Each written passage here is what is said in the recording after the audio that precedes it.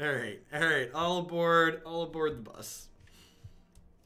All right, Esper, Esper Party Bus. This has been a fan favorite. It's definitely a favorite, a favorite of mine. The bus for the uninitiated here is the lumbering, lumbering battlement. Gets bigger for every creature you pile onto it. And then we have a bunch of wonderful creatures in this deck that do different effects when they enter the battlefield. And then we have Siren, excuse me, Siren's Ruse here to blink the bus in and out.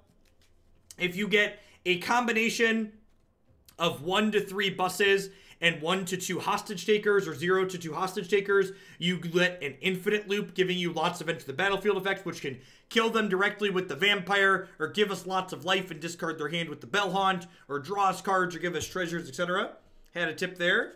Thanks for making my day-to-day work grind easier with your streams and YouTube channel. The content is great. You've made my daily viewer. Well, Thanks for the support, Harley Quinn. I really appreciate that. Uh, if there's a deck in my queue you'd like to see a little bit sooner, I always encourage people that send the donations to bump things up. So feel free to drop me a DM and let me know if there's something in there you'd like to see a little bit sooner. All right, let's uh, let's dive into some matches here. This one, this one's been a lot of fun. This deck's a sweet example of like there's an infinite combo in this deck but this isn't an infinite combo deck. Like, this is a mid-range deck playing mostly reasonable magic cards that happens to, like, backdoor into a combo some of the time.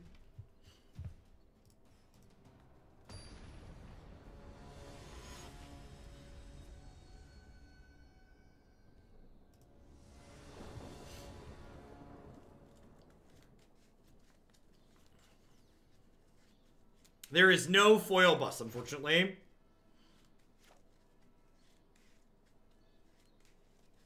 I mean, I don't I don't think that's strictly true, also. Like, especially with, like, what I do, and I'm definitely not alone in playing viewer-submitted deck lists.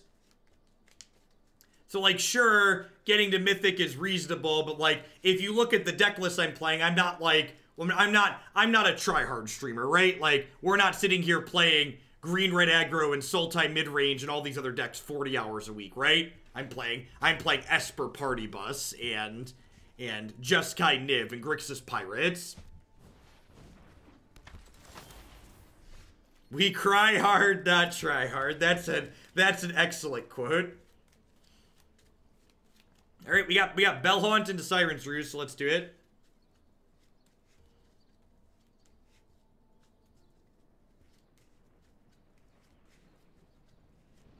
Nah, complete, completely disagree.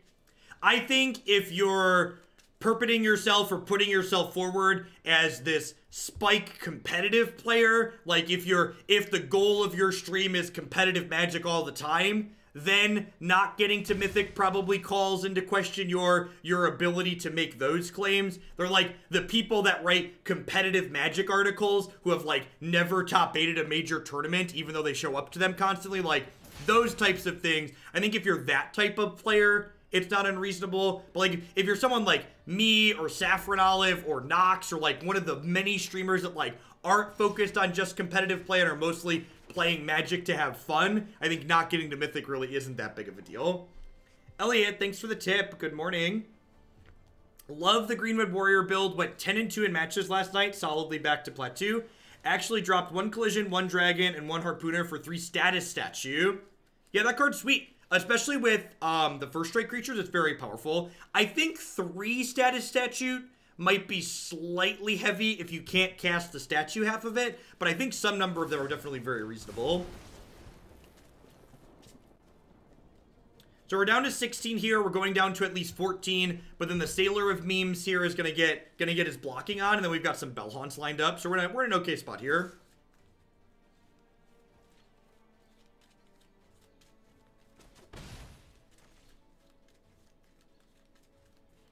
You're not wrong, Foxicon.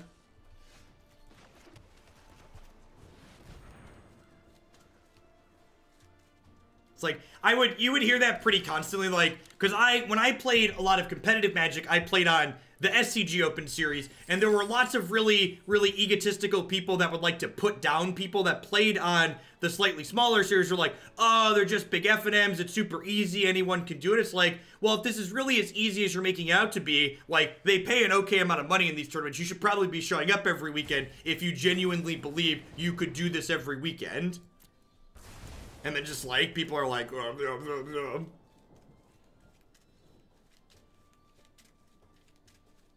Now, I com I completely disagree with you, Olis. In fact, um, streams that tend to focus purely on competitive focused magic tend to be a lot less successful than streams that otherwise focus on entertaining content. If if competitive focused magic was the thing that drew in watchers on Twitch, I would never have more viewers than any of the MPL players because it's almost a certainty that all of those MPL players are better Magic players than I am personally.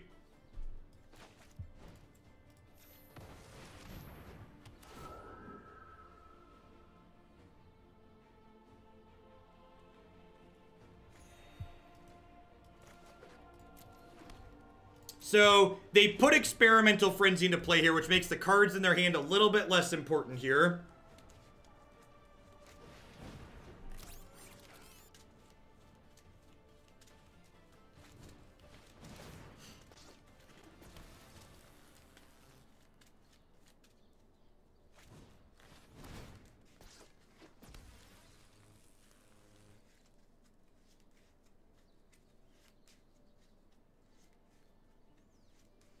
Alright, would you like to attack?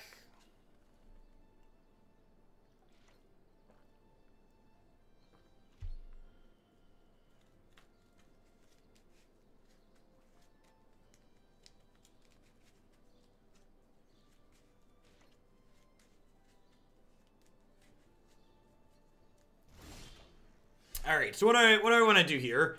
I have a couple of sequencing decisions. The question is how quickly do I want to get do I want to get the bus into play?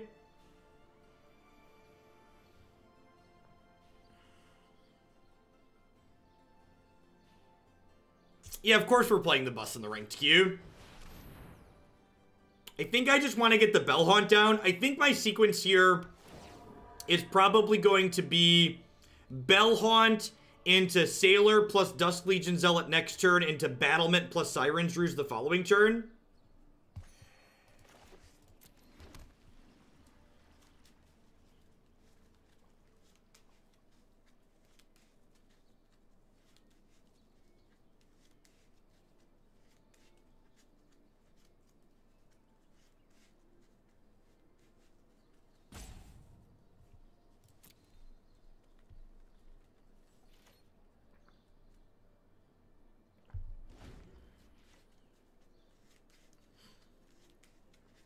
They have they have Runaway Steamkin plus the Frenzy here, which is a little bit scary.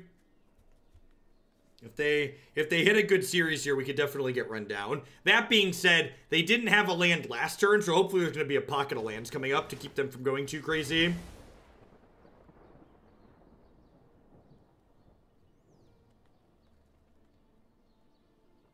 When's the next Narset League? Uh, not sure offhand.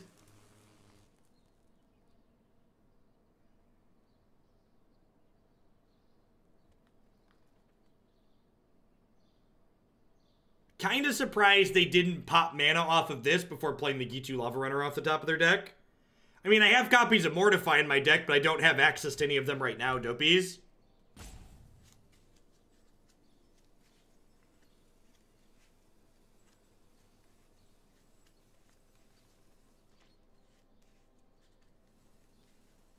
If they attack with everything, I'm going to go block, block, block. If they attack with just this, I think I'm going to block it with everything.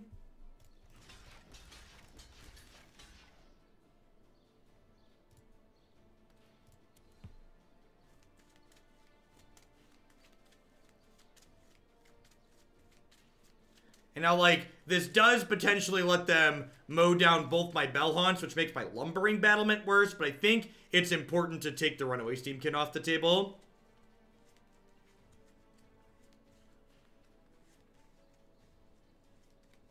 Yeah, the, the modern queue is not that long. In fact, the deck queue in general is kind of short at the moment. 1, 2, 3, 4, 5, 6, 7, 8, 9, 10.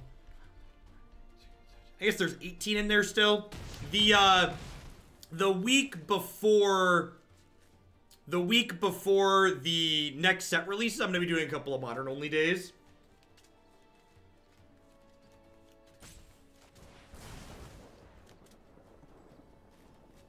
So this is this is letting them cut through my Bell Haunt here, which sucks, but it is what it is. No, I don't think so. I think they want to take my Bell Haunts off the table just so they can, like, start attacking with their 2-2s. That doesn't seem unreasonable. Because, like, as long as the Bell Haunts are in play, they can't meaningfully attack with these 2-2s.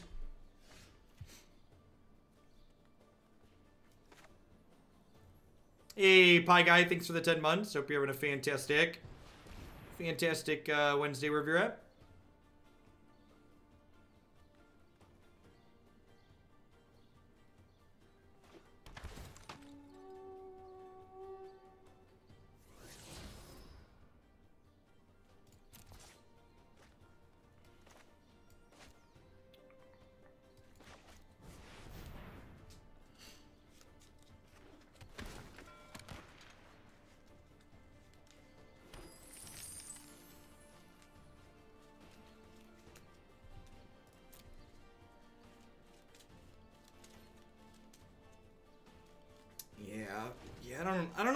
Block was great. It might have been right to just chump with my Sailor. Losing those Bell Haunts makes the Lumbering Battlement significantly worse. And, like, now they drew another Steamkin. This, if this Frenzy ends up being above average for them, we're going to be in a lot of trouble. Even just average, we might need it to actually just be below average.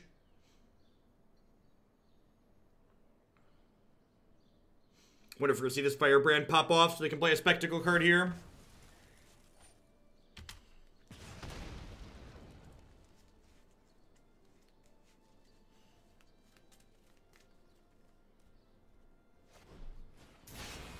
Light them up.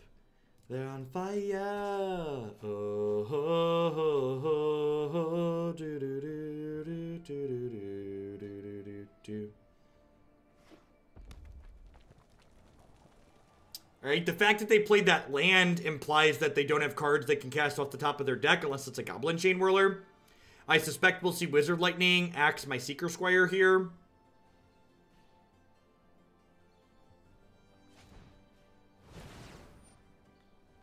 Oh, they're just to cast two spells? That makes sense. It's weird. If they're casting this Lightning Strike off the top of their deck, it's definitely a mistake to play that Mountain, because if there's a Mountain underneath this Lightning Strike, they then can't keep going through their deck with, uh, with Experimental Frenzy.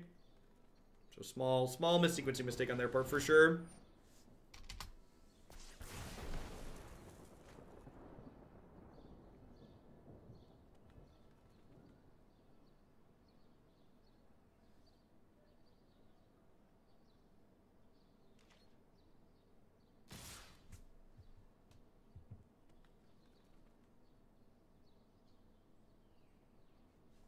I think if they attack with these, do I double block one of them?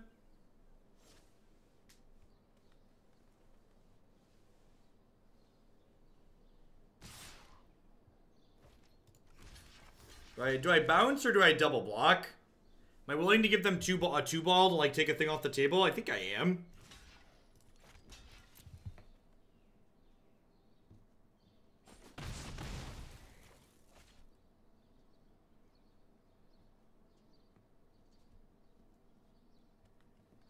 They could technically still keep casting things off the top of their deck, yeah, because they have the Steamkin here, so if they have another spell, they weren't punished for their bad sequencing on there. Light up the stage.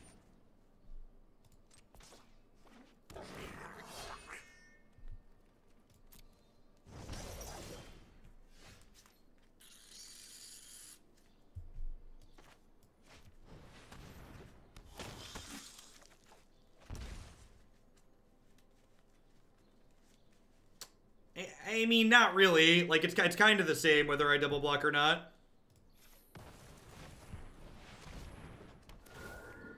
Bellhaunt's a good pickup.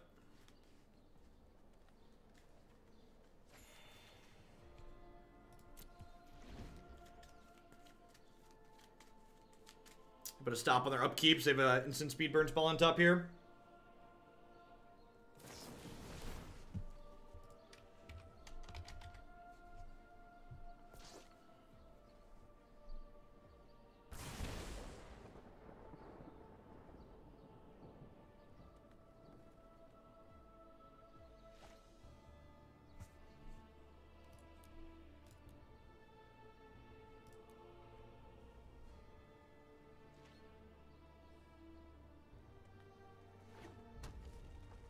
Have another land on top. Have another land on top.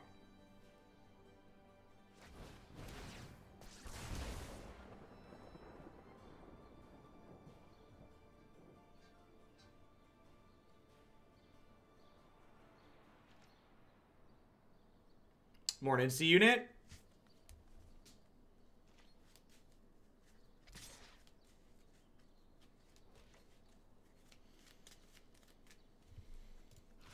I think I was gonna jump here.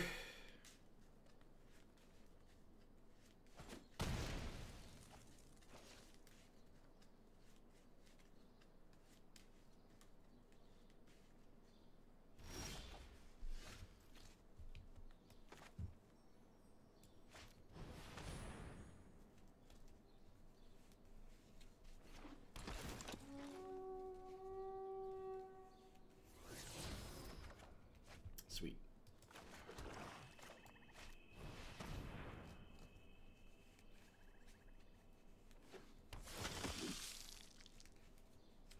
I'm going to four here, but I have Siren's Ruse on Bellhaunt available.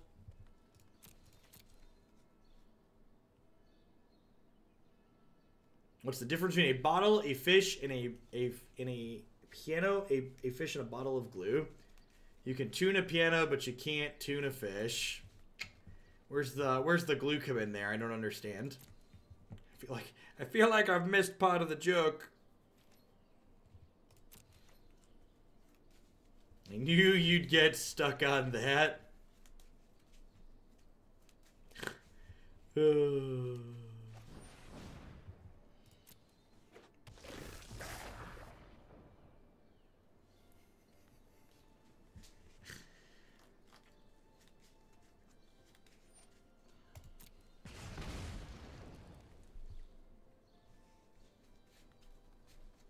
We're dead. Why are we dead?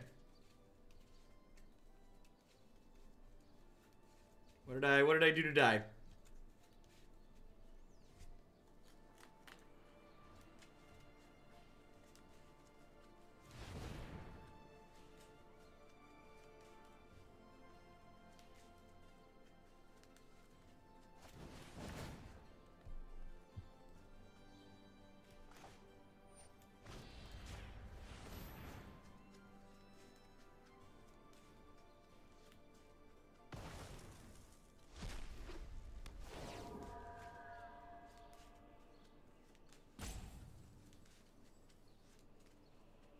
Mean, like, we were maybe dead forever ago. I don't know. If we're gonna concede at this point, we should have conceded on turn on turn four when they cast the experimental frenzy.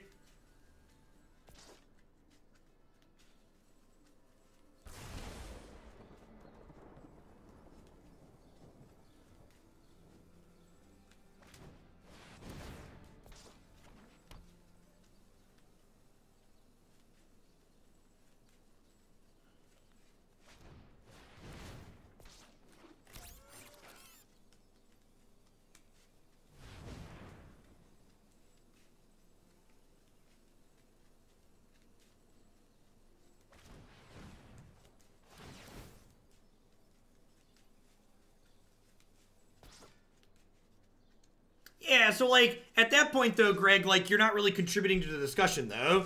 You're just like you're saying like we should concede, but you're saying we're not saying we should concede. So you're just like complaining that we're likely dead. So like how is how is that helpful?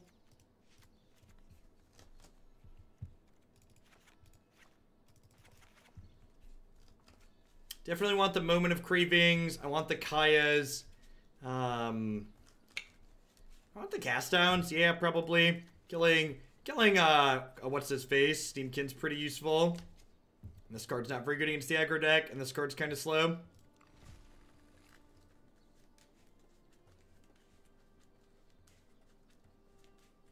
I think Contempt's too slow. This is definitely a matchup where we traded the fourth Mortify in the sideboard for a Contempt. This is definitely a matchup hurt by that. It's possible that the second, the second cast down should be the fourth Mortify.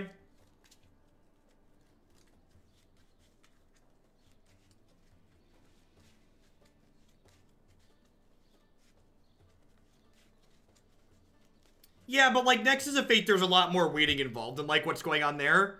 Like, Nexus of Fate, wait, waiting to die to Nexus of Fate, Greg, is a, is a different degree. Like, waiting to die to Nexus of Fate takes as long as that entire game took a lot of the time. That's pretty, pretty big difference in, like, waiting to see if they have another burn spell. Or, like, are to hit a couple of lands in a row off the top of their deck and give us a chance to get back into it.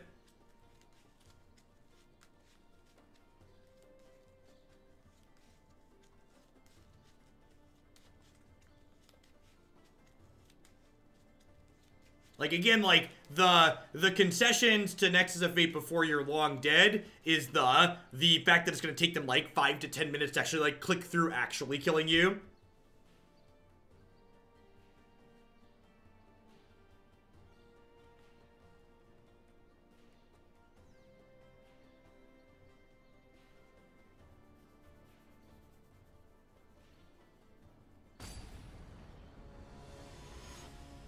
Not gonna lie, I'm a little sorry for turning Chad into a dad joke menagerie. Eh, it's, it's fine. Two, four, five. Poor little Bellhaunt. We're gonna put you over here in the ugly corner. This card, this card would be such a good, a good full art too. Like, can you imagine like the stuff coming off of its bottom here is just would just be like all shimmery, shiny? Thinking about it, I'm a little bit more upset that it doesn't have a full art option.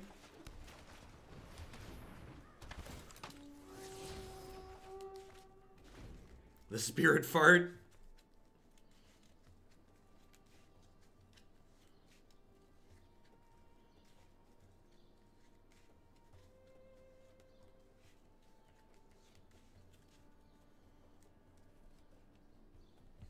My full art jank decks, thanks.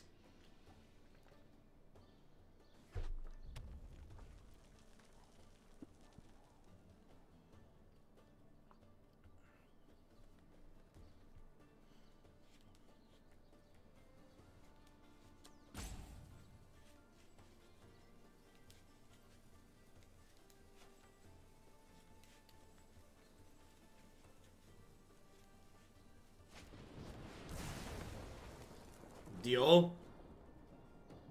What other color combos does the party bus come in? We played Mardu bus a little bit, but I wasn't I wasn't really impressed with it compared to this build. Esper is definitely my preferred. Why does the Mortify picture move in hand when the rest doesn't? So, if the cards have an animation that isn't just them zooming around, they move while they're in your hand. So a lot of the animated cards don't do anything except you, when you mouse, the perspective changes as you mouse over them. Whereas Mortify, the perspective changes too, but it also shimmers. So there's a, there's a few cards that have the shimmer like that.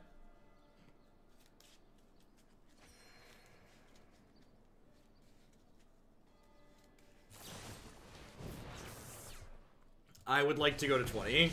Thanks. Rhythm of the buses. Rhythm of the buses.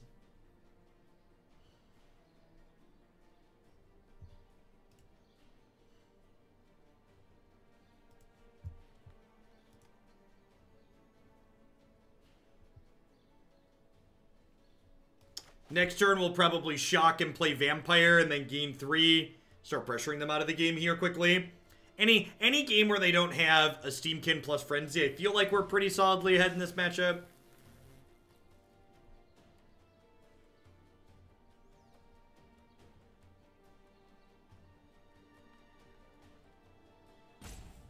Which I think means there should be a fourth Mortify in my sideboard. I think I'm going to swap the second cast down to a fourth Mortify after, uh, after we're done with this match.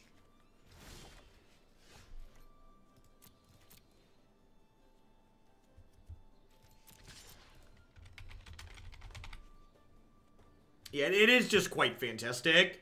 And like this deck has enough game against aggro with all the other all the other life gain. It's okay if it doesn't have we don't have as many two mana removal spells.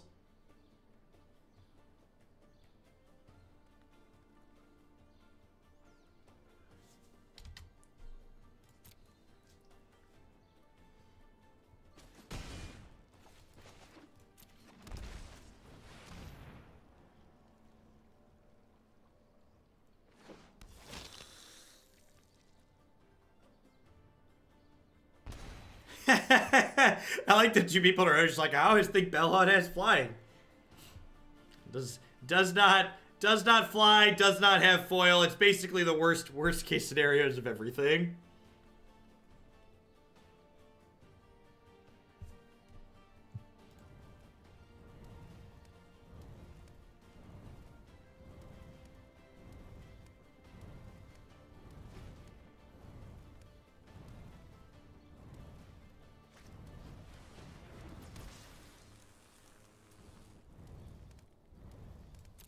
Sorry. Sorry. Focus. Focus. Focusing.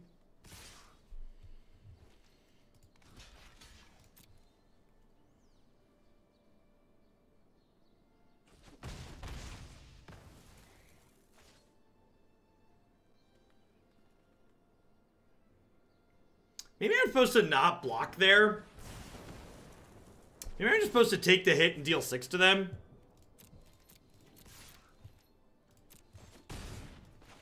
I'll take your last card, please, and three of your finest hit points. Ooh.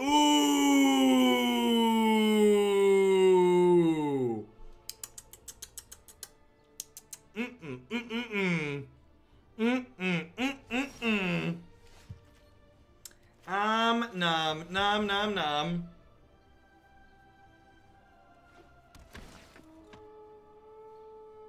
It was, uh, Experimental Frenzy.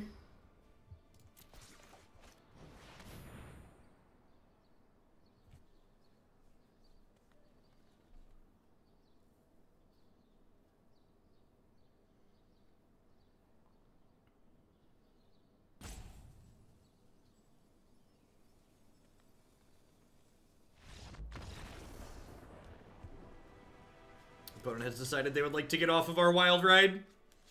Yeah, I think I, I think I'm happy with how I sideboarded. Like I said, just wanna wanna turn one of these into one of these after after we're done with this match.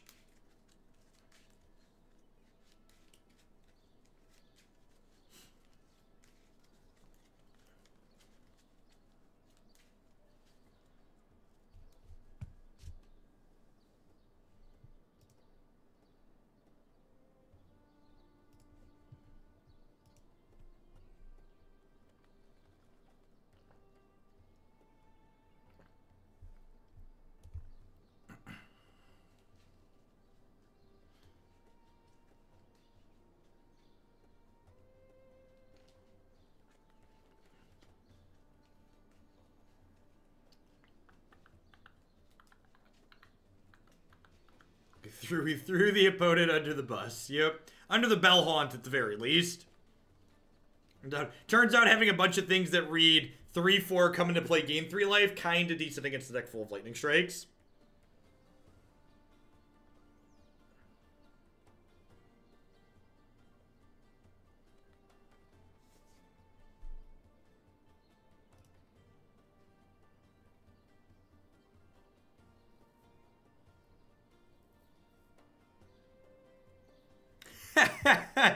That's great, Strubinator. A A plus fantastic line.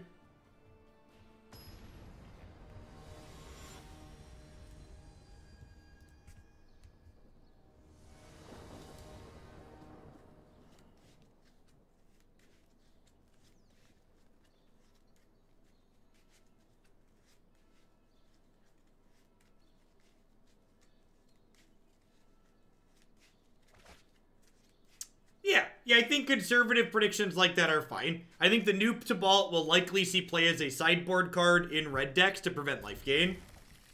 That I think that card's more than reasonable. And in that aspect, the the floor on it is relatively high. I would have minus the Kaya that turn, I think. I think I would have down ticked and cracked them for six. I think it's pretty reasonable. Kaya's decent. I've got blockers on two. If I don't draw an untapped land, I'll probably go Squire into Squire.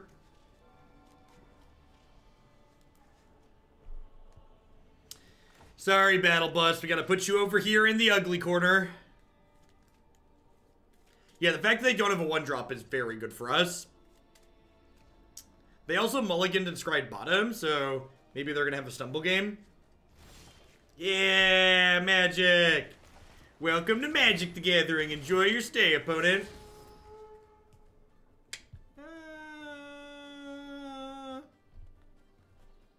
I'm gonna bin that. I think I want higher impact cards than that one. I played a Curse Catcher in the sideboard list of the Pod Bomb list, and it was kind of hot. Thoughts. Curse Catcher is strictly worse than Judge's Familiar would be in that slot. And I think playing a Judge's Familiar is fine. Judge's, Judge's Familiar is a card I've played before. It's like okay with Chord of Calling. Not good, but okay.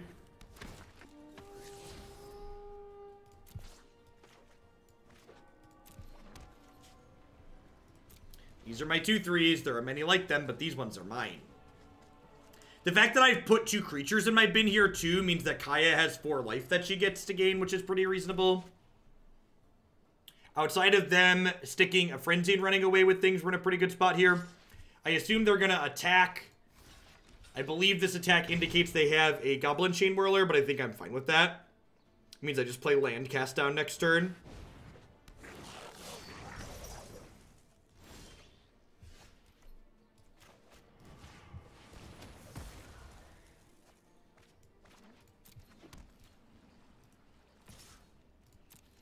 They don't have any instants in their bin, so I'm going to go ahead and attack with this. If they had even one instant or sorcery in there, I'd probably leave this back to play around the, the one drop that gets haste. That's pretty punishing.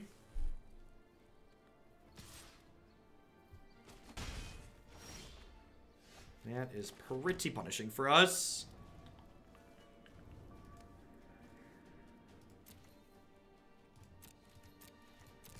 I think I'm just going to play a 6-7 out here. This is definitely not a card that was on my radar.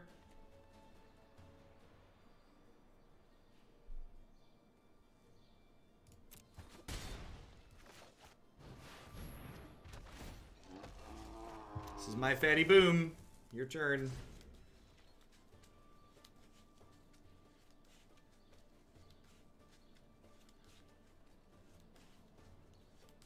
Yeah, that attack was probably... The first attack was probably bad. This is so punishing, though.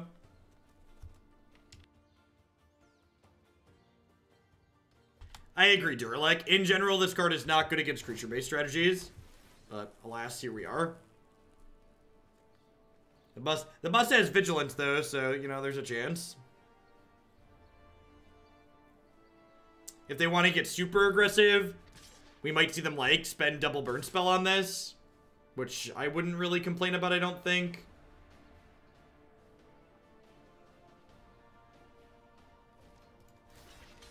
Gets right to block. Get like double skewered or skewered lightning strike. I'm a little sad though. Maybe I'm supposed to wait a turn. I don't know. Leaving them another token seems bad though. Alright, there's a lightning strike. So if they have a skewer in their hand, the lumbering battlement is dead.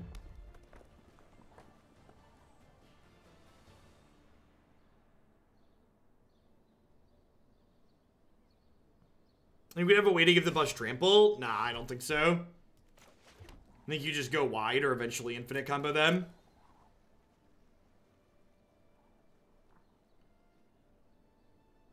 So we're flooding out, and they've unstumbled here. If they if they have a experimental frenzy, we're definitely going to be in a bad spot.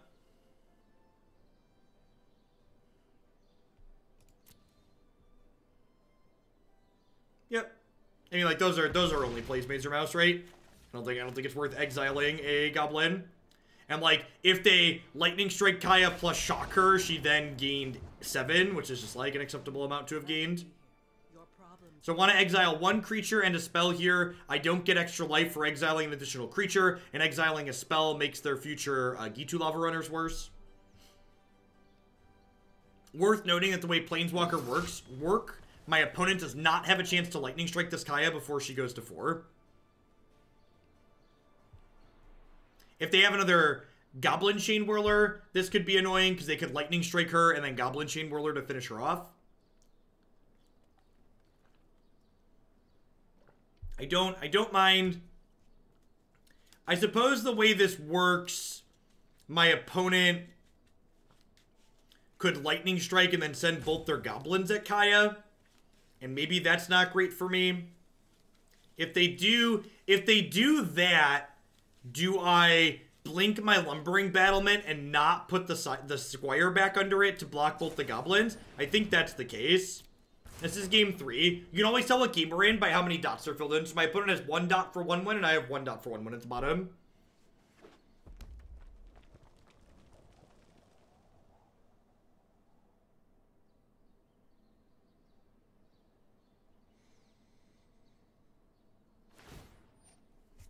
So I think we're going to see both these goblins attack her.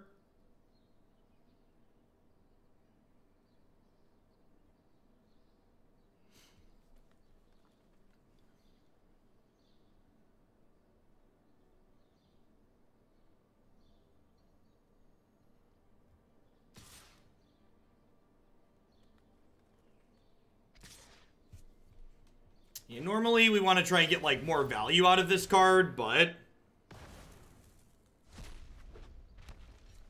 So I'm gonna decline to put anything under the bus. Perfect.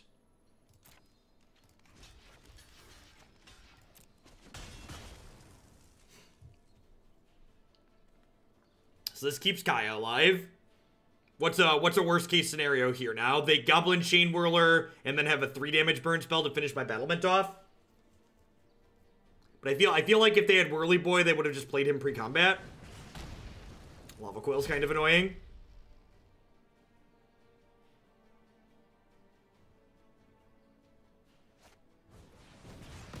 Okay, interesting.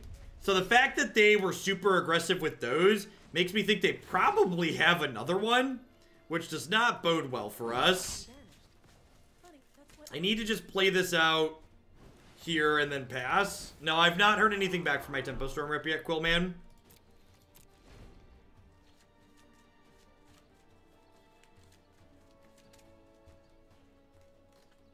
But I don't I don't think I'm gonna run ads today. I really didn't like doing it yesterday. It was tedious and annoying and we dropped off viewers every time I did it, so does not seem worth.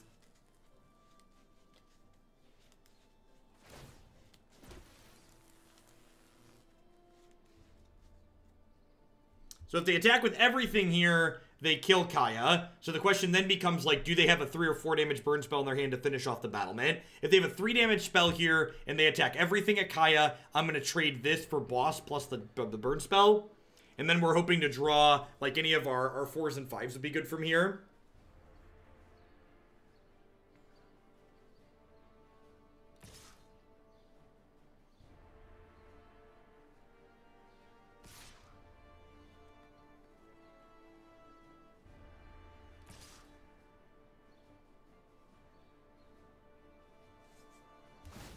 Any any of our game game threes would be good. I agree.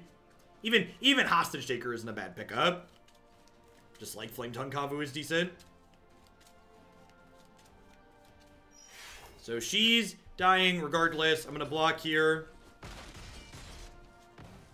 I assume they're gonna have a three damage spell to finish this battlement off. The way they used the lava coil aggressively last turn. Hostage taker. Hostage taker. Bell haunt. Alright. Alright. Alright, well.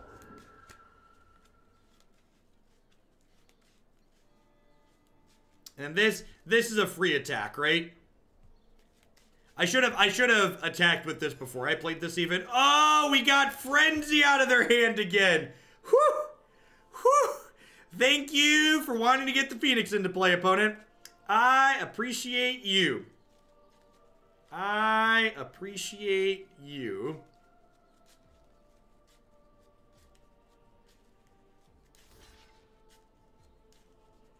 Good, clean living.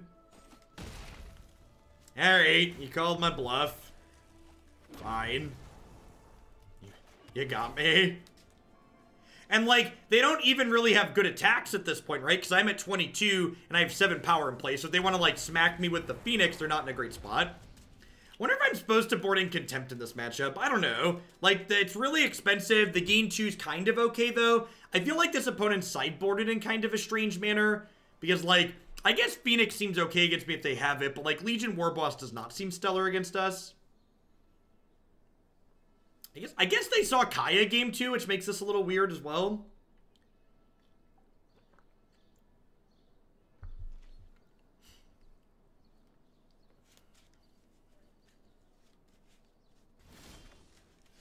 Did we play a bus game too? We did not.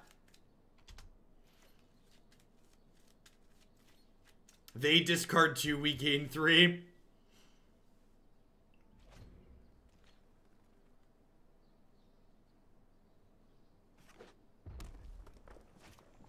I mean, they don't know that we can't kill the Phoenix for good. Like you're you're saying we can't kill the Phoenix from good from this side of the board with the knowledge that I'm I don't have Vraska's Contempt in my deck right now. Like they don't know that. I also have like Kaya in my deck, which changes that dynamic as well. Yeah, it does, dear. Like it feels like they saw our Esper lands and like boarded like we were Esper control.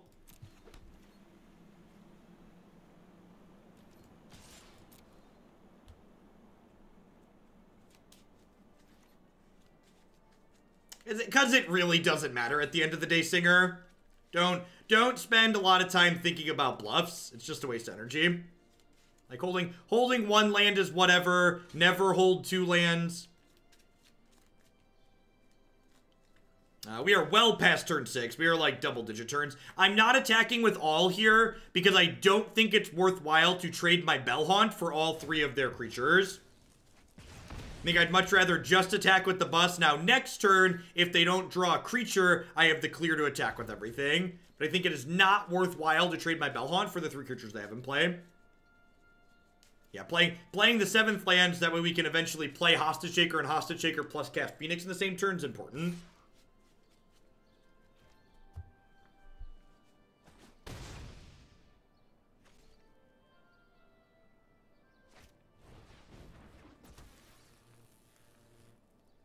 Deja vu.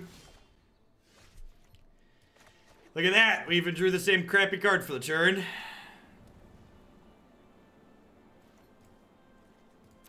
Feels bad, man. We've drawn 10, 10 lands and 20 cards.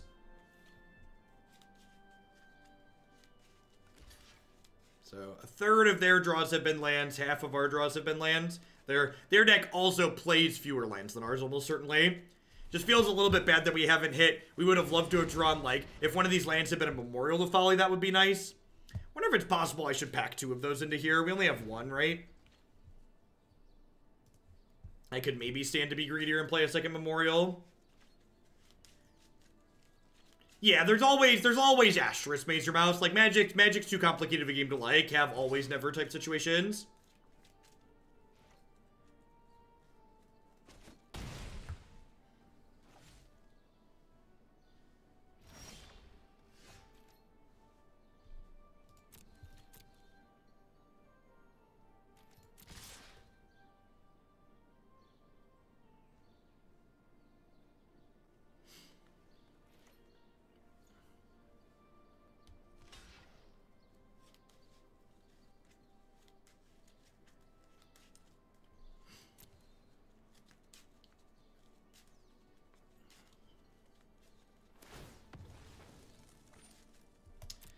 So now we're going to be dead to a 3 damage spell. I think it's correct to not play around that, though. I think I want to save the Mortify for if they just have blank so I can kill their creature and then kill them. Like, obviously it sucks to get, like, Lightning Struck or whatever here, but I think if they just attack with Phoenix, I just take four. Lava Runner changes the dynamic a little bit. Does it? I don't think it does, actually. I want to leave myself the ability to draw another removal spell and kill them, I think.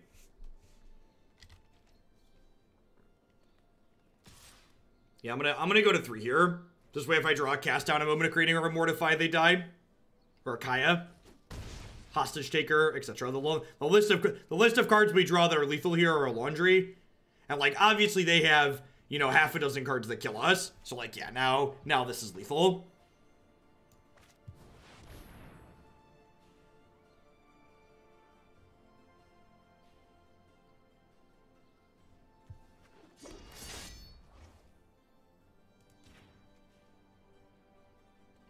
If they have if they have a way to interact with this at instant speed, they'd have killed us.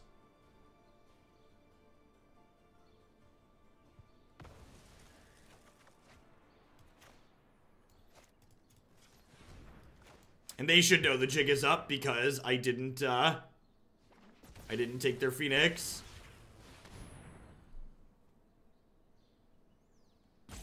I, I think this turn sequence here was a good example of playing to win versus playing to not lose. I think I think mortifying the Phoenix there is playing to not lose, whereas giving ourselves the chances to hit our variety of outs to win the game the following turn is playing to win. And like and like we talk about here, just because you make the right play doesn't mean you necessarily win the game. They definitely could have had a lightning strike or wizard lightning or a skewer to kill us there, but I think I think it's right to do what we did.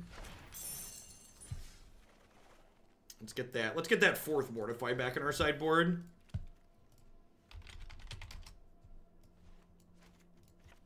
Hmm. Dive back on in here, shall we?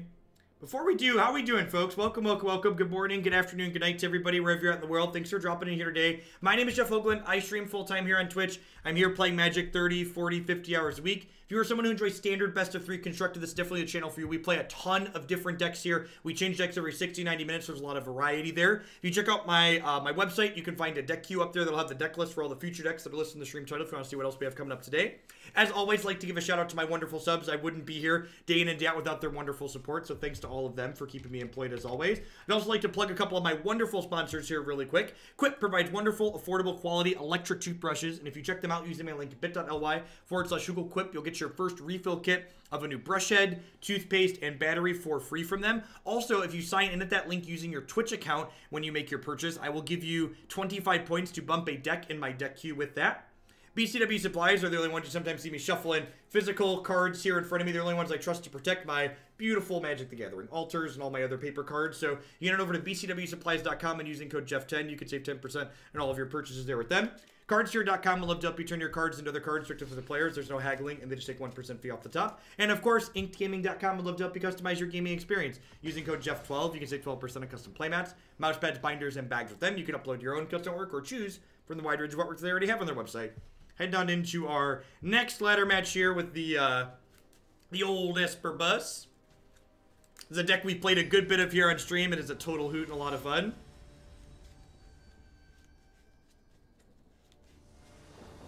There is there is a Kiki. So I kept um when I sold the majority of my paper magic cards, I kept my four birds of paradise that have painted borders, uh, one Chord of Calling, one Kiki Jiki, one Restoration Angel.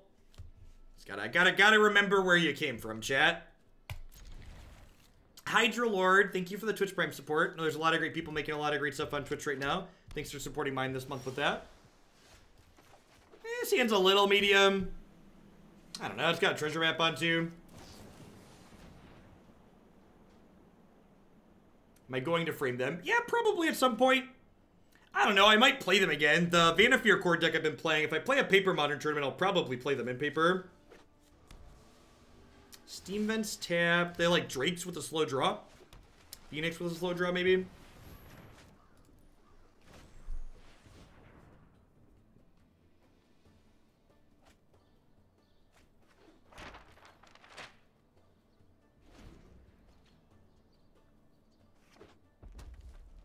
like Walmart or Nordstrom quality. Uh, I don't own any Nordstrom clothes, believe it or not, so I don't really have a good a good metric for them. My my metric for the quality on them was I bought it and I put it through the wash a bunch of times and the logo didn't fade, so I was happy with the quality.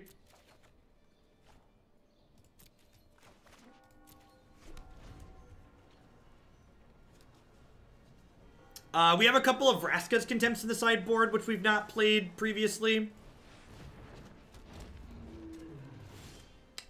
Looking for a removal spell here.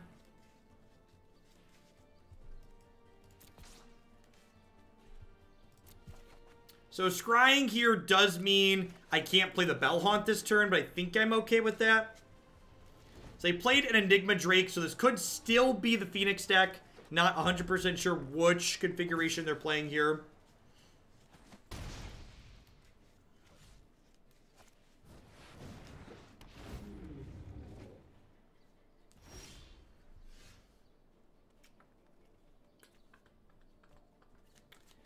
I think I just draw here.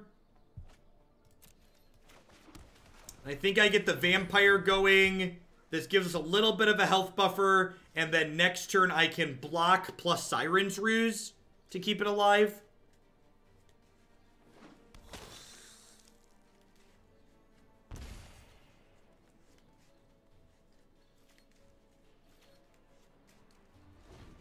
Yeah, I have some cards individually framed.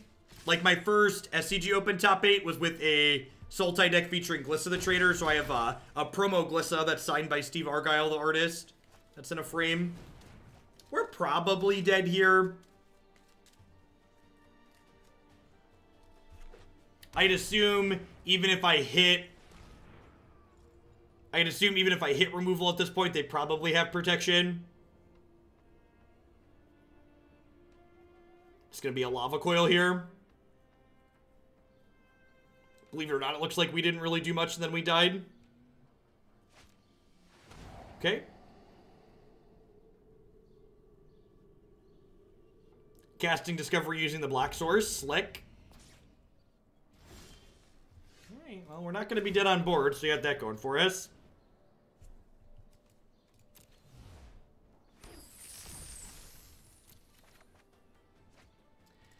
We've got huge tracts of land, chat.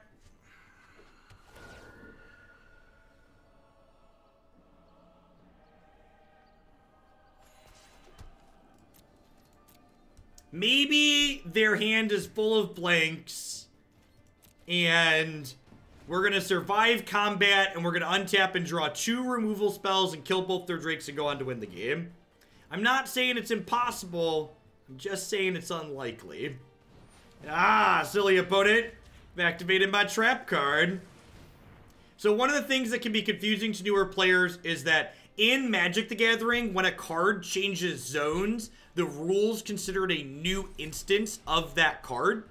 So when Siren's Ruse moves this Vampire Sovereign to exile and then back into play again, it counts as a new Vampire, which means it's no longer being targeted by the Lava Coil. So this saves our creatures from removal spells if it resolves, which it didn't and we are dead. These, these Drakes have a very angry number.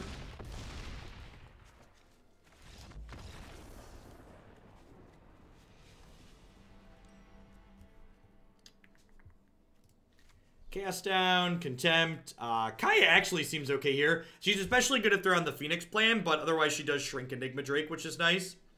Uh, Sailor of Means doesn't block anything meaningfully, so I think I want to trim down on those. It's a matchup where I trim some Bellhaunts. This might be a matchup where I trim Bellhaunt, right? Like, the three life isn't huge. The, the discarding a card is not that meaningful. This is a card quality matchup, not a card quantity matchup. So I care about specific cards, not just them having a lot of cards. To trim two of these and like one treasure map.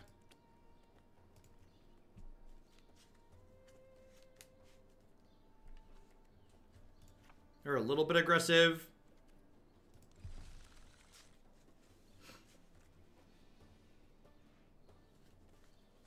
So Drake's is is kind of what I would refer to as a gar the garbage one of the garbage collectors of this format. So it struggles to win against the decks that people accept that are good, like White Aggro and Esper Control and Sultai, but it's really good at cleaning up miscellaneous Tier 2 decks that are trying to metagame those good decks, basically. So, like, what we're playing by no stretch of the imagination is one of the best decks in the format. So, Drake's really tends to struggle in my experience. It's a lot of the decks that are very good in this format, but it's very good against all these miscellaneous fringe decks. And this format is wide enough and has enough fringe decks that something like Drake's with that descriptor can exist and be successful still. Man, that first match against Red was super long. We've been playing this list for almost an hour already. Land, please. Alright, well, we've got we've got a lot of removal, which is good. Kaya's also decent.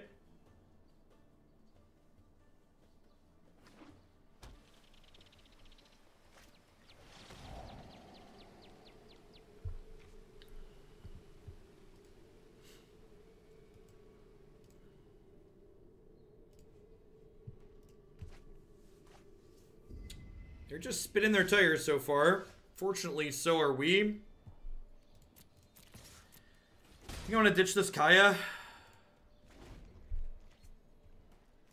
I want my removal spells and my, my creature bombs.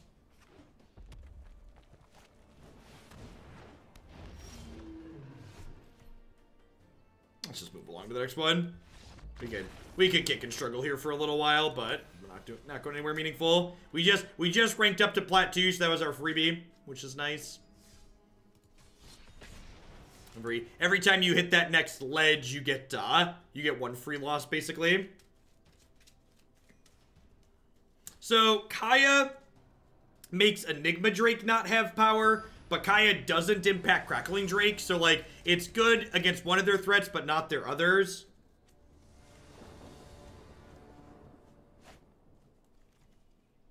Crackling Crackling Drake explicitly looks at exile as well.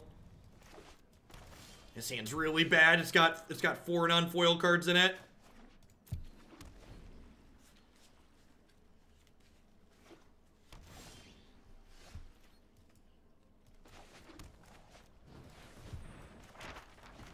Double, double Bell Haunt, double Battlement. Getting set up for some goodies. Rude.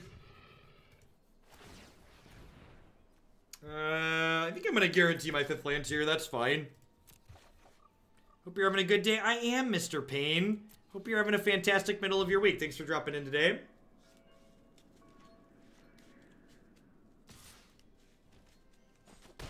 Yeah, I agree. The the Esper hero deck that we have coming up today looks looks like a pretty reasonable mix of stuff.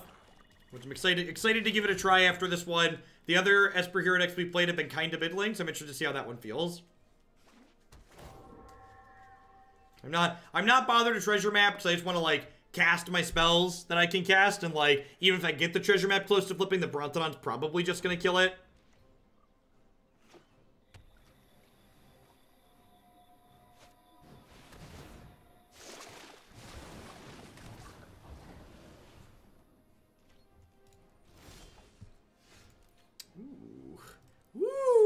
all right, so we technically we technically have the combo set up here now. So hostage taker double battlement is infinite if they don't break us up in the middle. I'm gonna get this other bell haunt into play first though. Because once we once we put two bell haunts under the battlement, they're really not gonna want to kill that battlement because it'll take two cards away with it, basically. Howdy, Chalky. Not really looking for another land.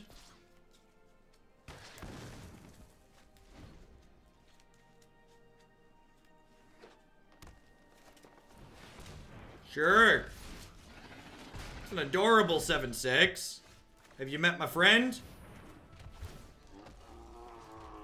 He's huge.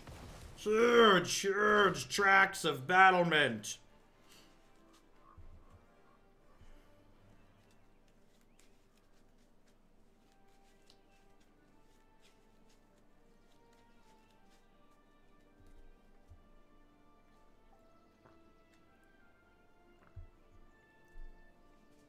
That was that was the read the read the card pause, like the the considerations of like what is taking this off the table mean for the game.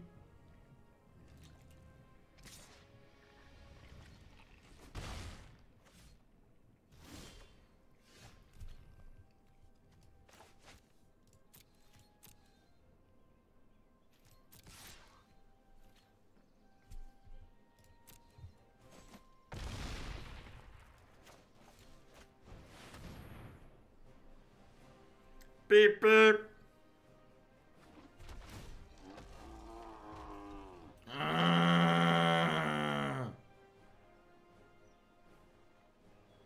The basic potato. Thank you for the 10 month resub. I appreciate that. Welcome back. Thanks for keeping me around. Oh no.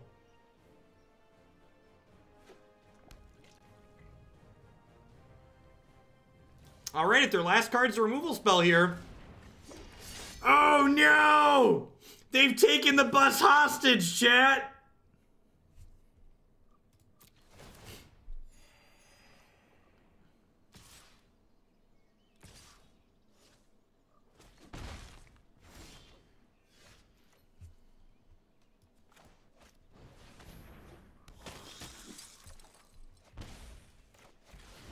Give it back, please.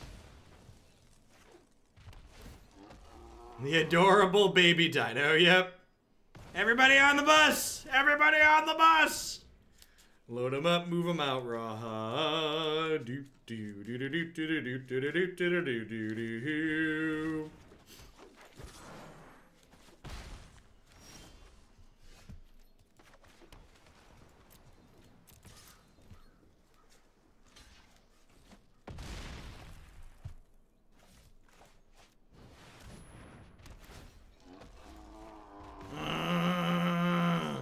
All right, if they draw a brick next turn, we go infinite.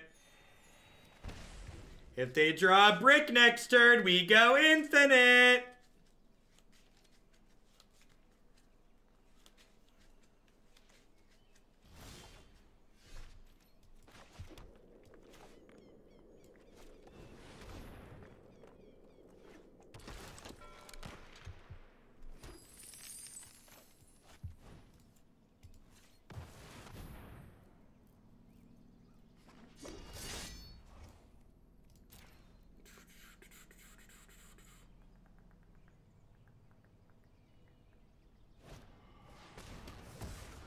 Dang it, Bobby!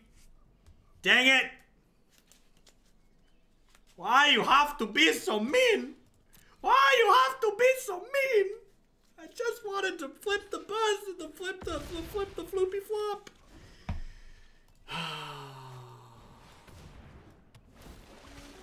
we did we did draw Memorial. That's true. That's true. We did in fact draw Memorial.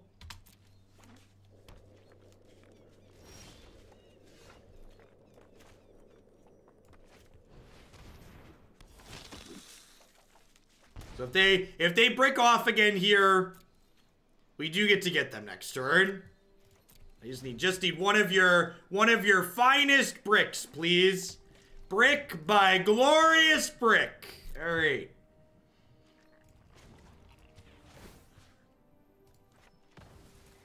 Refuel the bus.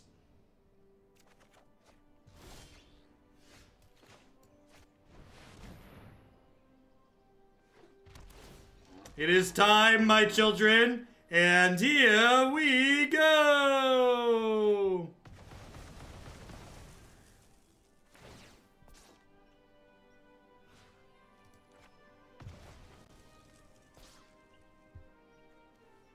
So put this at the bottom.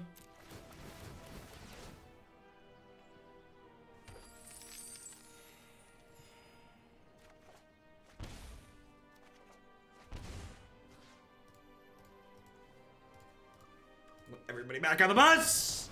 Everybody on the bus! Load them up, move them out. Do do do. Do do do do do do do do do do do do. Triggers.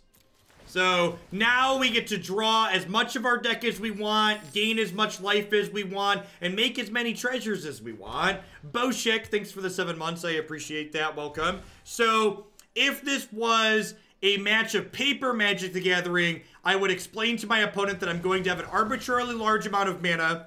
Eventually, we would draw the vampire that drains my opponent out, and then we would break the loop up because we can optionally break the loop whenever we want and then you cast the vampire plus another battlement from your hand and then get the loop going again with the vampire to drain them out so that loop does actually end the game there in paper. On Arena, I think we'd run out of time before we get there, but we'd also draw enough cards and like gain enough life that we, we're still going to win. So that's why the opponent conceded.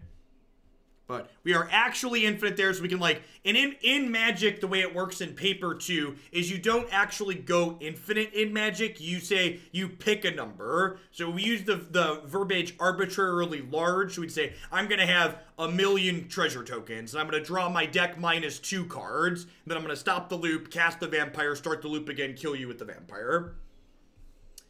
So in this matchup, Cast Down is like strictly better Mortified. They don't really have legendary creatures that we're worried about. Um, I don't actually think I really want to sideboard in anything else. I guess Vraska's Contempt is probably better than Mortify too, because Vivien can often be annoying. Viv Vivien can often be annoying. I'm going to trim a Seeker Squire, I guess. The rest of these cards seem reasonable. Let's do it.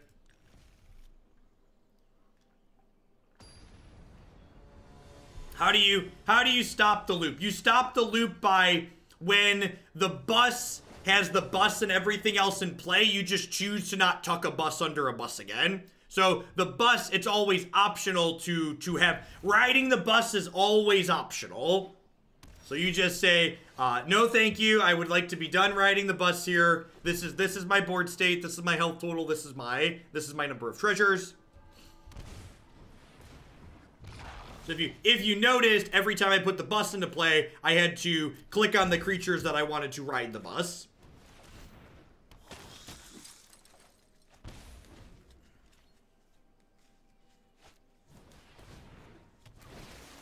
The bus is courteous and respects people's decisions to ride or not ride.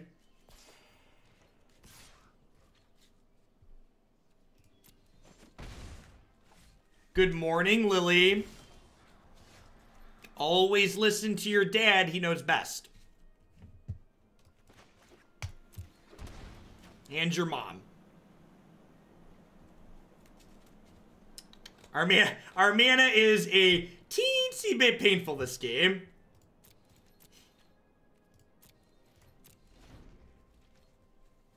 What's the best way to obtain a signature on my Jester's cap? Uh, I have a P.O. box that you can mail stuff to.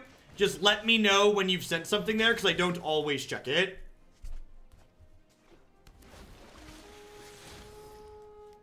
You said we could draw its way to the vampire and then cast the loop and start in. Yeah, so you start the loop again, the Rex, because when you draw your entire deck to get to the vampire, you draw another hostage taker or another bus, and you have unlimited treasure tokens. So you just cast them both, and then this the new the new bus or hostage taker gets the loop started again, or a siren's ruse. Yeah, that too. Lots of lots of ways to have everybody get back on the bus.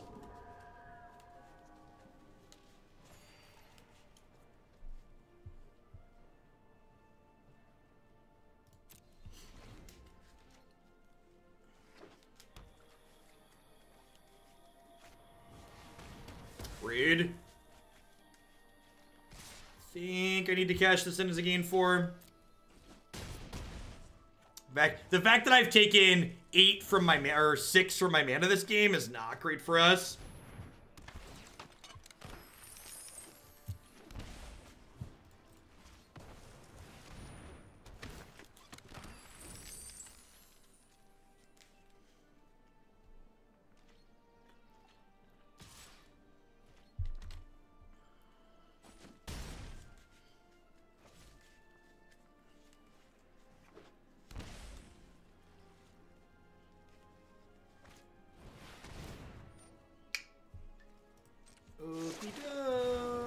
They they had an aggressive start and we drew all shock lands, so not really a whole lot we could do here.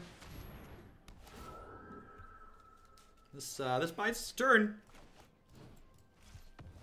Then I get to scry on my upkeep.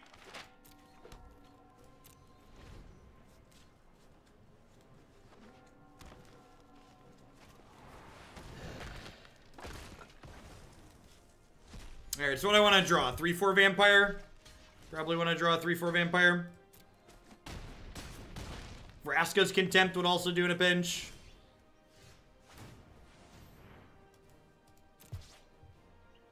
Uh, Bellhaunt, also not terrible.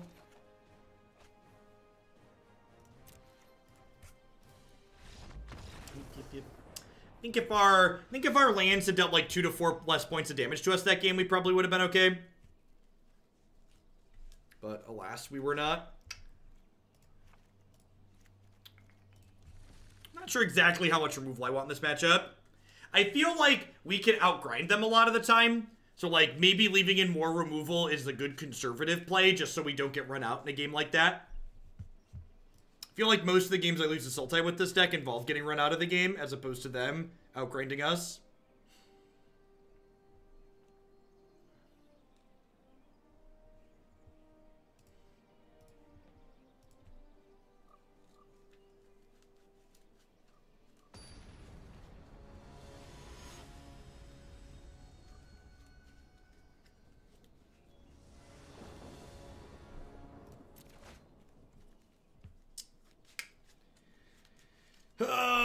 I mean, my lands don't deal me damage, I guess, but they also don't come into play untapped.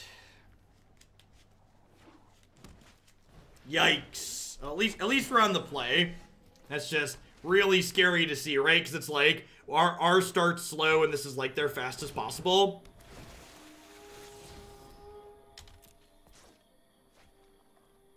Alright, at least it's only a 3-2. Seeker Squire, sign me up.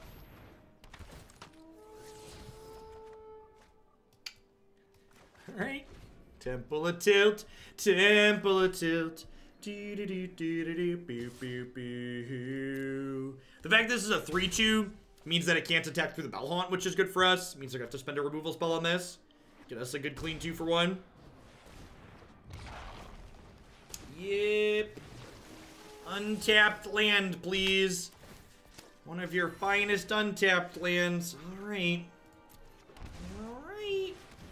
Hopefully they don't have cast down, so they have to choose between playing an explore creature and casting down and removing the Bell Haunt. Vivien. Okay, that's not the Stone Cold Bratwurst. Got this Contempt in my hand.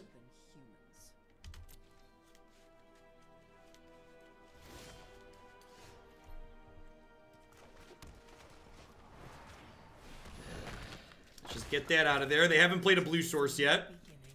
They could they could be sandbagging it.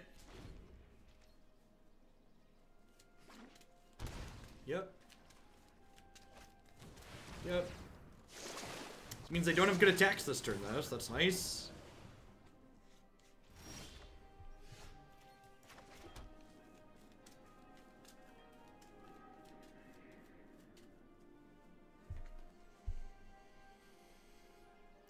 Do we just get on the bus? I kind of think I want to just get on the bus, right? Take the... Why do I care about the Wild Growth Walker? I think I want to just pile people on the bus. I think it's hostage... I either hostage take taker the Krasis plus play treasure map or load up the bus. I think those are my two lines here. I could I could take her the Krasis. If I take her the Krasis, how, how do I feel if they finality me?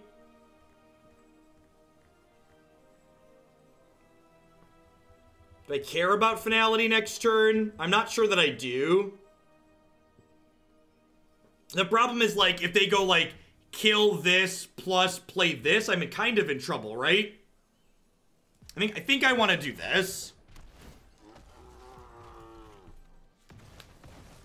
This this gives me more this gives me more life. So, like, I don't think I care about finality, but I think if I play the Hostage Taker and their play is, like, play Jadelight plus kill my Hostage Taker, I end up in a pretty bad spot.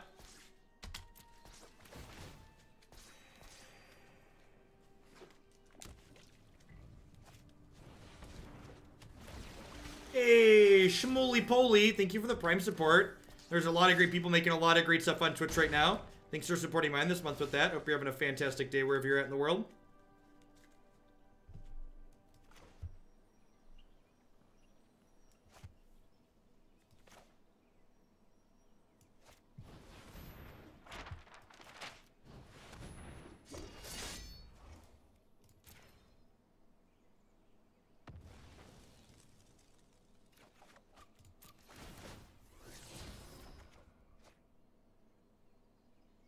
Why do you think Explorer was not played much before the rotation? Because the cards that were played played before the rotation were really busted.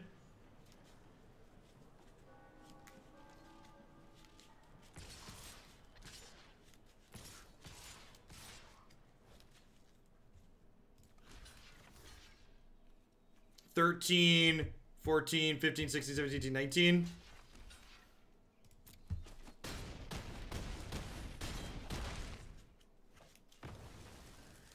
Yeah, Fatal Push is pretty good too.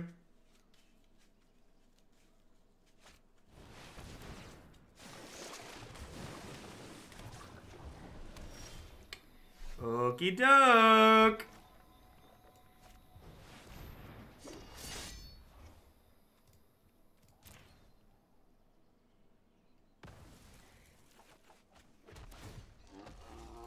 We're infinite, chat.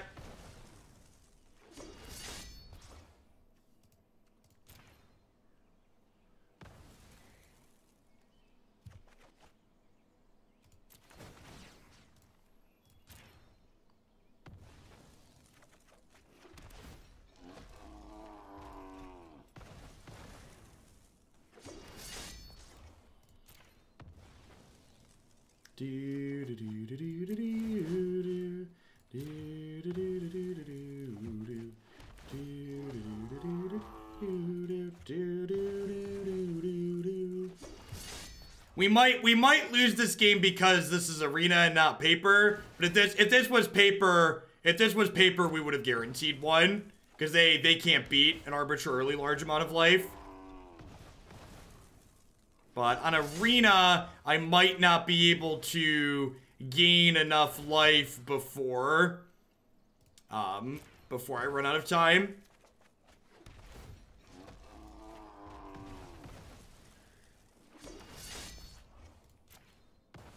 So I'm gonna I'm gonna keep doing this until my timer runs out.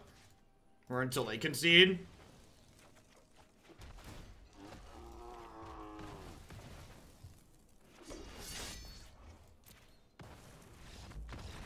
Yeah. So again, in paper there, you would just say, I'm going to Graham's number for my health total. And I put it put it be like, yeah, okay, we're done here. It's like you can't deal that much damage before you deck out. Bell, bell haunting intensifies, right? That's a solid set. Just got to combo twice there.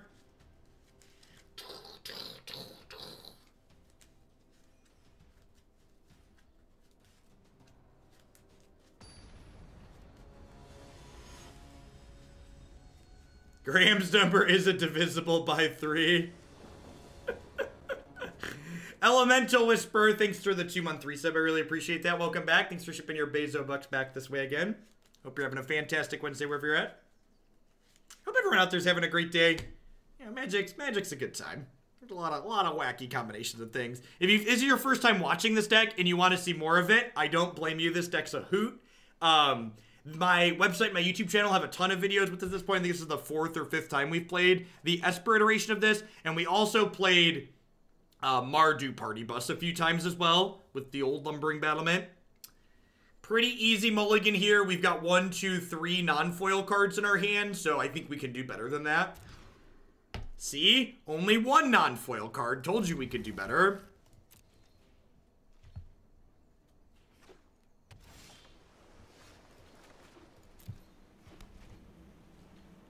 Whoop win. Howdy, howdy. This hand's missing black mana, but I kept Sailor because it makes it makes treasures, which eventually make black mana. There is no foil party bus available. This deck has someone made a big donation last week for us to play this deck and make every card in it possible foil, and the bus was not possible. What in the world is Raid Bob plus Thoughtseize? It's uh, the three mana raid pirate that draws a card and you lose life alongside um whatever that other card is called the the Thoughtseize Thoughtseize uh thing. Thoughtseize adjacent thing.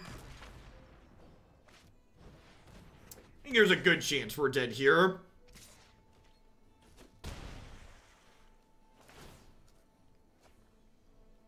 This matchup's probably hard for us. So it's definitely going to be hard when we have a hand like this without any removal spells. All right, sorry. Focus. Focus.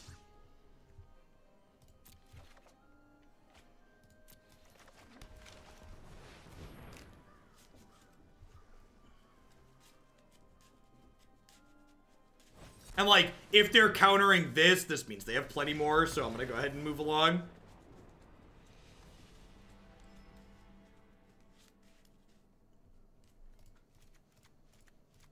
Kai is very good here. Mortify is good. Duress is good. The old, the old 13 card sideboard plan, just like we drew it up. So I actually think our our party bus plan is not amazing here, believe it or not. This card, actually, am I supposed to keep this in for the ramp? I'm probably supposed to keep this in for the ramp. Bellhaunt seems not very good. Have you seen the red two drop that cast instant sorceries from the graveyard? Do you think that'd be an acceptable submission in, in a Gruul aggro shell? I don't know about Gruul in mono red probably, but Gr Gruul tends to play more creatures than than not.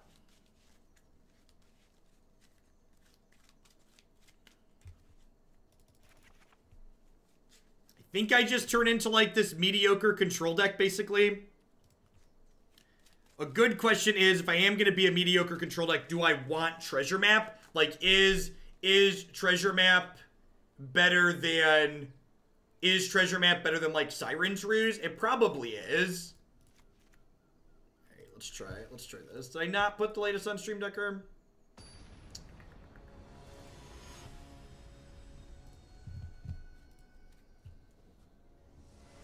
Uh, it says it's up there, Azintoth.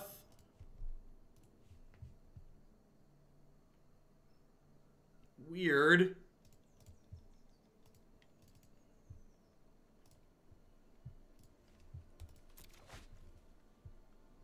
Strange. Alright, it should be good now. Uh, yeah, I mean, these both look better than Siren's Ruse. The Saints keepable. Dale the Whale, thank you for the very generous tier 2 reset. Welcome back. Put the swamp over here in the ugly corner. Remember, my tier 2 subs support me a little bit extra, so be sure to take a peek at the deck queue and let me know which deck you'd like to see a little bit sooner. Would love to do that for you. I think I think we're just on the kill the things with fire game plan here.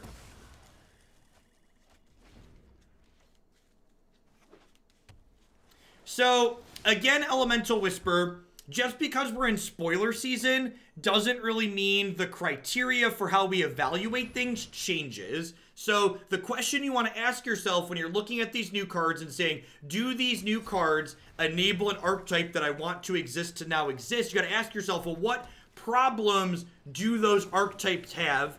And how are those problems being addressed by these newly printed cards? And having played a little bit of blue-white control, in my opinion, the biggest issue that archetype seems like it has on the surface is that it doesn't have good flexible removal. So the fact that you're like trying to play like baffling ends and seal sealaways is blue-white control's biggest problem, and I don't think Dovin's Veto or the new Jace really address that problem.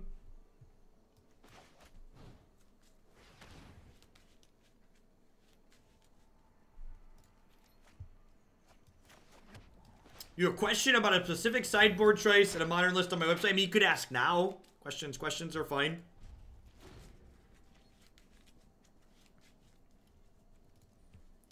So we're looking for hostage takers, mortifies, cast downs. Ways, ways to interact with this Djinn.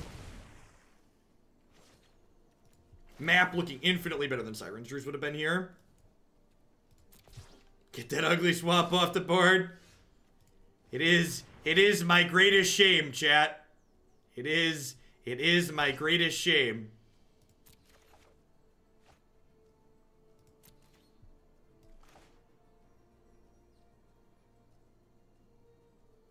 Debt-free life, my first pay finally came in from the new. Put this towards something sweet. Remember, sweet, not good. What's going on, Bob? I think I'm going to play Kaya here as just a gain six, am I?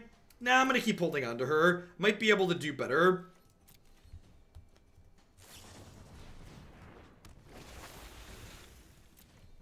Might be able to do better. They've drawn two cards now. So good chance they have disruption for when I do find removal at this point. I don't know that moment's good enough. I think I need to dig deeper.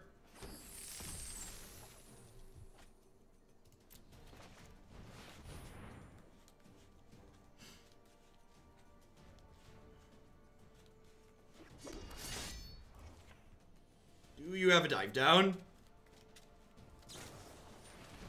I don't think this works how they want it to work, but I don't know for sure.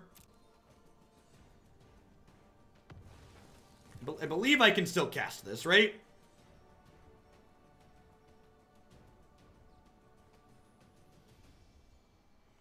Oh yeah, it's been a hot second since you've been around, Bob. The new the new foil cards are here and they are excellent. I think it's worth playing this as a game too. I think I think it's worth burning my treasures here to play this as a as a block here too too. Mox Tangerine, thank you for the continued generosity with the tier 2 resub. Welcome back. Thanks for keeping me around. And like now, I get to stick this Kaya and start gaining life, and they, they don't have the ability to pressure her, which is excellent. I like a good fight. Notice I didn't say fair. And again, grabbing one creature and one non-creature because I don't gain extra life for grabbing additional creatures. And exiling instants and sorceries from their bin is valuable because it makes their Terramanders worse. Yeah, Djinn only counts basic islands. That's this is this is the big reason mono blue doesn't splash colors.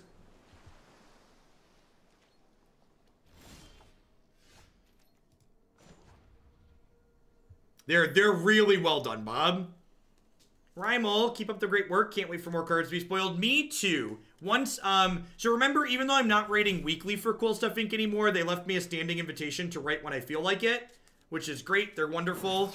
Um, so I'm going to be, uh, probably writing a spoiler summary or highlights or things that I like once we have a, a little bit more things to churn through. Sam, Sam Pon, thank you for the brand new tier one sub. Hope you're having a fantastic Wednesday. Thanks for keeping me employed here. In a situation come up last night playing this deck, I hostage taker with the trigger on the stack. I cast Siren's Ruse to flicker the hostage taker, but I only got the second creature I targeted. Yeah, that is that is completely correct, Craig. So hostage taker is a conditional trigger that says basically if this card leaves play before this trigger resolves, the thing that it's taking never never leaves the battlefield. And remember, we talked about this earlier, when a card changes zones in Magic, it's a new instance of that card within the rules of the game. So, once you once you blink the hostage taker like that, it's a new hostage taker.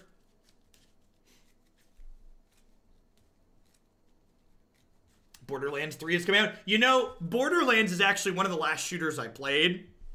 Well, before Overwatch. We still play Overwatch occasionally, but I have played a little bit of little bit of uh little bit of Borderlands. They have they have native Linux clients for that application. So which is which is nice. We don't get a ton of those. We don't get a ton of native Linux clients. God God bless wine.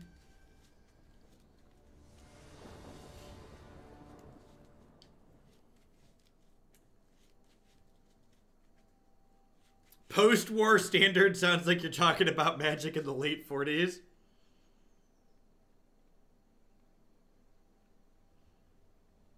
Borderlands 3 is an Epic Store exclusive. Rude. What engine is it being written in, Durlick? Is it another is it another UT engine game or they do something else? My wife says the same thing and I don't think they made the same. Uh this hand is kind of slow, but I think it's got a, enough cards that are meaningful in the matchup that I'm supposed to keep, but I would not be surprised if we get run out. We would really love to draw one of our two mana pieces of removal. This is definitely a matchup where swapping that second cast down to the fourth Mortify is a pretty big downside.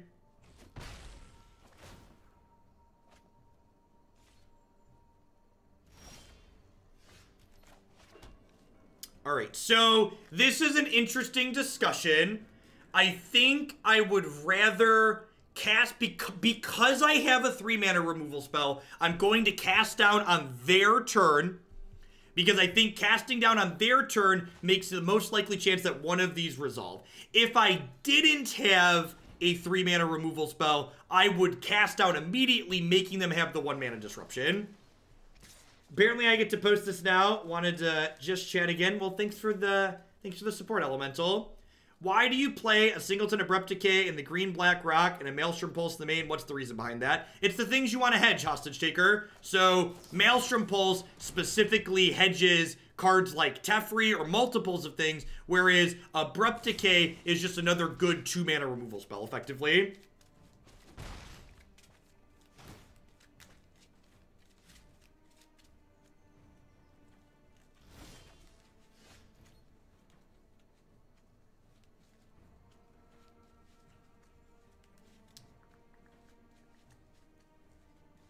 I I'd bet I'd bet dollars to donuts, Bob. It has to do with the with the sound subsystem. The sound subsystem on Linux is pretty pretty miserable to work with.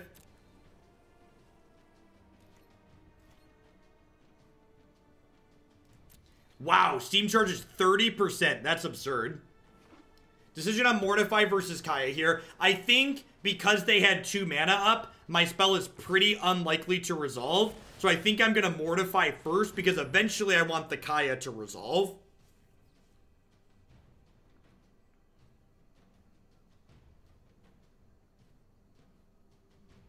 Yeah, at the at the end of the day, hostage, if you expect more aggressive decks and less like uh less what's it called? Um less um I'm blanking on the name. Less less Teferis, I would play I would play the other one. So more people are talking about mortifying the obsession versus dive downing. If they hadn't already used a dive down, I would mortify the enchantment. But because they've already used a dive down, it's not as likely for them to have another, which I think means I just go for the threat. So it's a it's a percentage play, but because they've already used a dive down, the upside of getting the Pteramander off the table is much higher.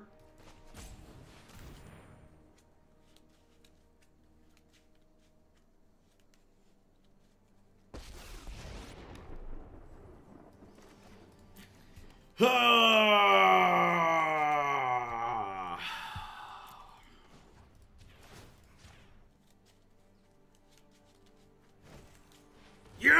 Victory! No gamble, no future, chat. No gamble, no gamble, no future. Get him. Get out of here.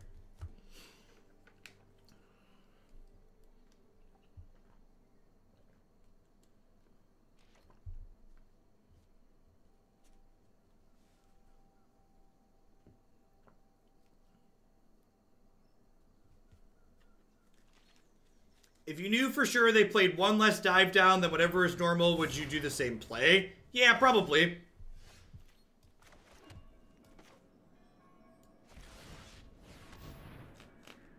Didn't have it last turn. Whew! Whew! Ain't even, ain't even mad. Ain't, ain't even mad. Can't, can't complain. We got we got the thing that was drawing cards off the table. Baby baby steps, chef. Baby steps.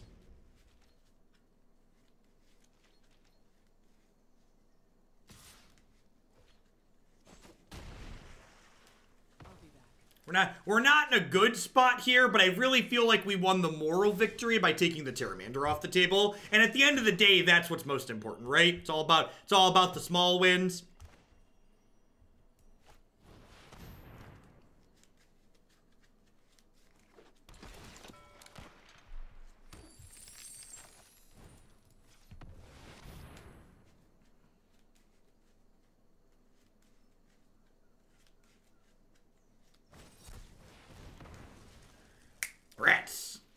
Silly, silly opponent being good at magic and not taking the bait on the Sailor of Means. Correctly identified my 1 4 for 3 was not what this game was about.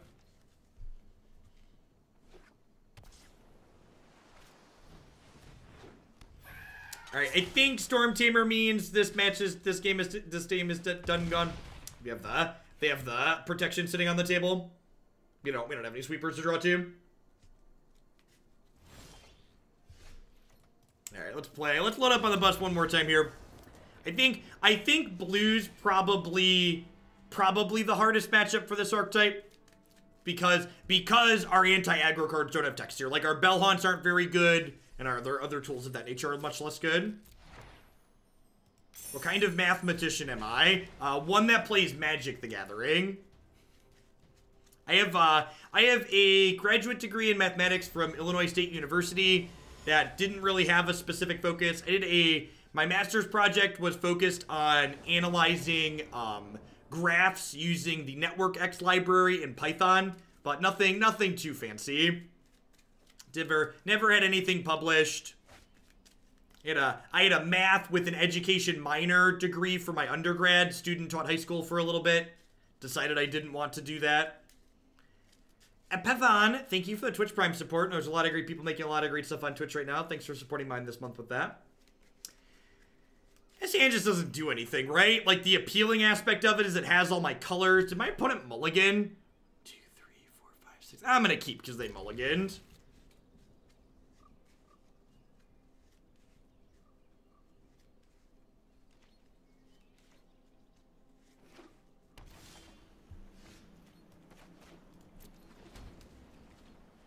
For people that are newer to Magic and wondering on the logic there, it's less likely to be punished for keeping a weaker hand when they mulligan, because them mulliganing implies that their hand is likely weaker than a good 7 would otherwise be, regardless of what they're playing. That being said, my plan of keeping a 5-lander and drawing some spells is so far not really coming to fruition.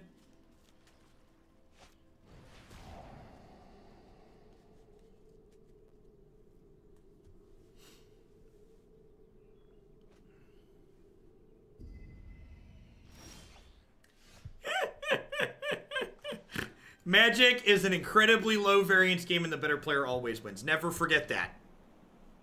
And that one will keep you warm at night, I promise.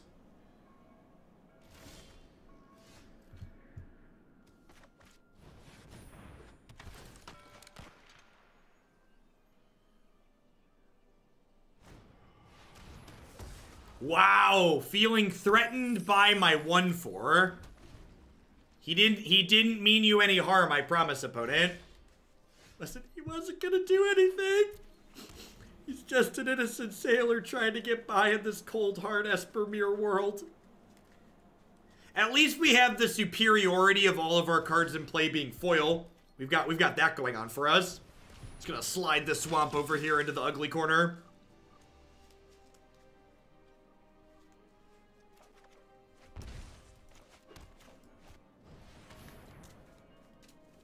These.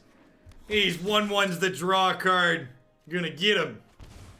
Gonna get him. Look at that. Look at all these spells in a row, chat.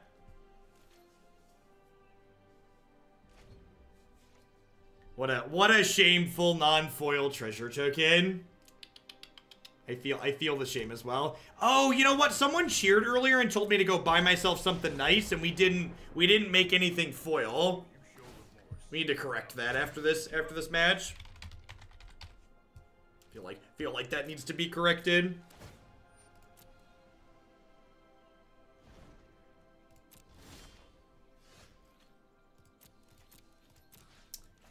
We're probably solidly into garbage time here, which for those that are new to Magic or haven't heard that sports ball reference before, garbage time refers to the game hasn't ended, but our opponent is basically in a position where they can't lose, so we should probably just move along.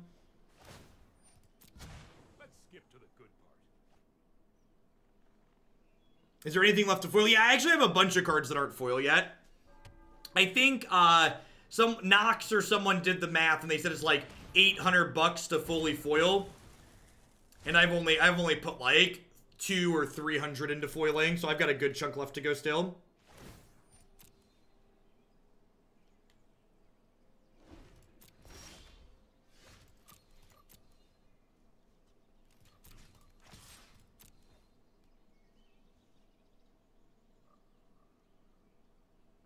Little Bell Haunt just trucking along over here.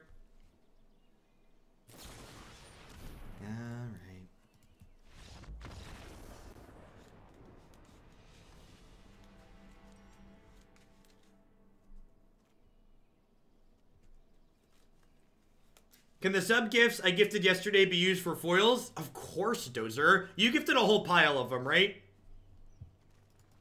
If I if I recall.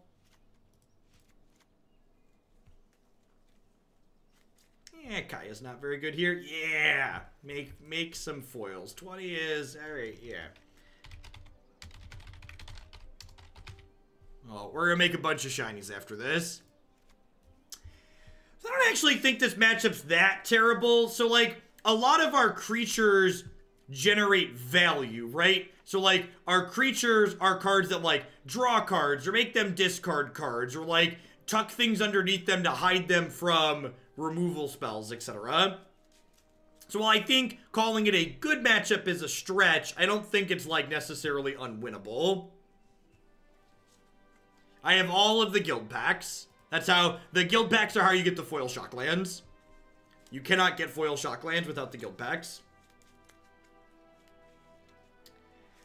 How do we feel about cutting all my mortifies in this matchup? Sure I feel about that. Hostage Taker isn't amazing. They could board in creatures out of their side, though.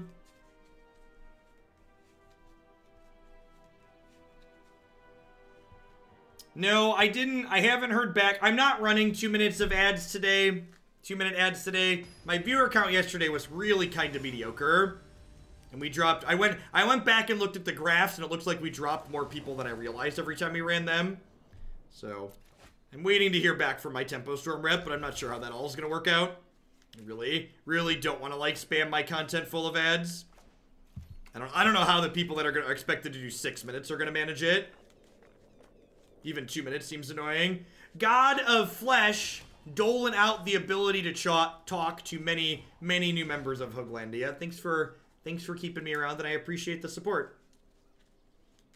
They went on the full creature plan. Yep. Right, well, you can keep your Kaya's Wrath, because you got a bunch of creatures in your hand, so good luck with that.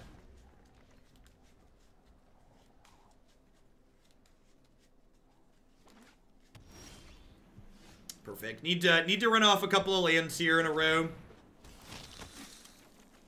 Fantastic. I guess that's a tapped land, technically, which is awkward.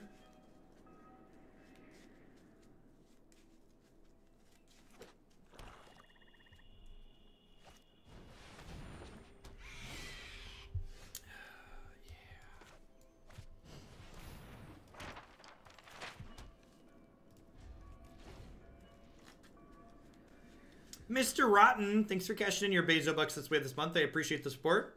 Thanks for keeping me around. So, obviously, we're going to wait to scry until after the Thief hits us, because the Thief is going to clear cards off the top of my deck. And I think trying to fix my draw step for next turn is more valuable than trying to, like, hide one good card from their Thief of Sanity. I don't think I want one, but putting one just in case is probably a good idea. BM Go, thanks for the Prime support. Welcome, welcome. See, that's why I don't really want to spam things full of ads. This this content's sponsored by you all already. Do we really need a pile of adverts? Seems seems not necessary.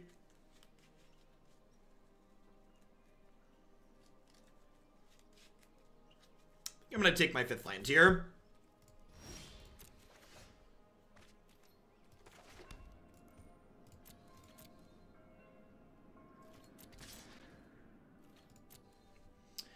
So, I'm going to... You'll notice I put a stop on my opponent's upkeep.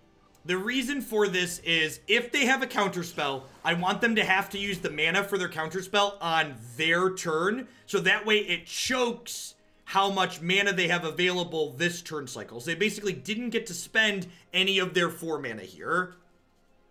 Volper, thank you for the entire year of support. I really appreciate that. Welcome back. Thanks for keeping me around. Have a sword to go with your shield.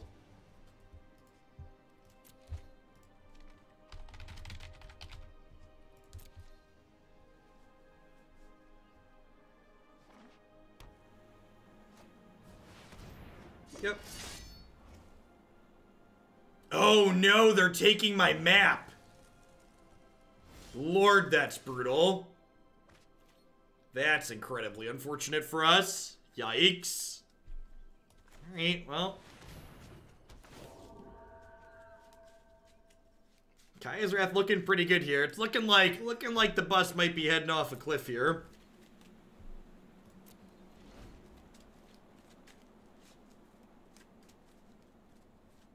Yeah, that's a good touch too. I like that it has the card back, my card back on it still. It's a good attention to detail. Arena, the Arena devs have done a really fantastic job of having a good attention to little details like that.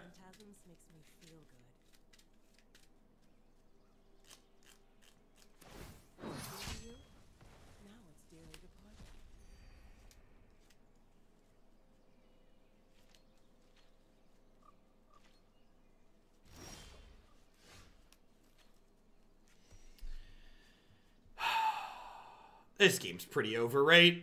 Like I, they have Kaya, they have my treasure map. If I put the Bell Haunt down, they discard this, they have a Kaya's Wrath left over, plus this is a spell for me still. Let's, let's call this one a wrap and try one more before we're done for the day. With this deck. got plenty of more good things coming up. We got Esper Hero, Jeskai Niv, and Grixis Pirates before we're all done for the day.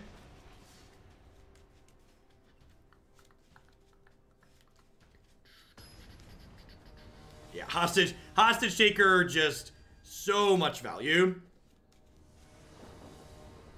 Hopefully we find like Sultai, red aggro, white aggro. Those are the matchups that like like are pretty reasonable for this deck. Ugh.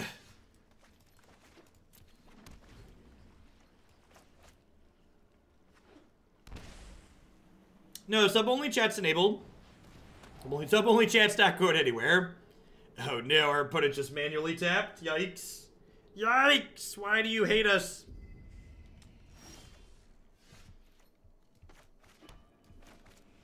You were given the gift of speech from someone, Wolffighter.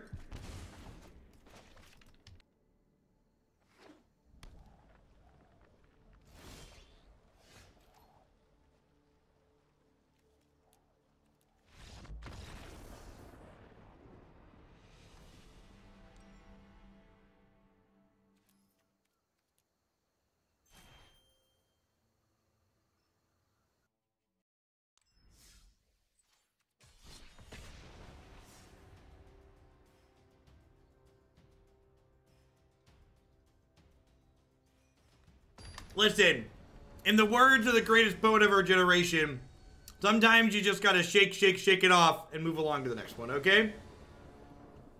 Hostage, thanks for the tip. Whoop. Didn't know how much foils in arena cost, but hopefully this counts towards a Zealot or Bellhaunt foil. So, unfortunately, this deck that we have has all of the foils in it. So not every card in Arena right now comes with a foil option.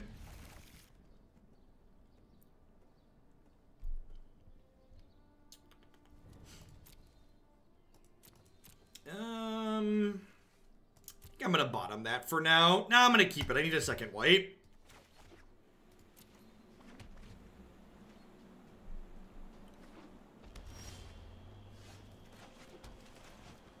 How much to get the black-green standard rock deck build around up into this week?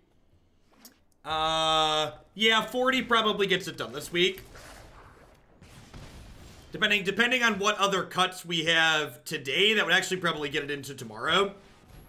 So today's Wednesday, so I'll probably play between 8 and 10 more decks this week for Standard.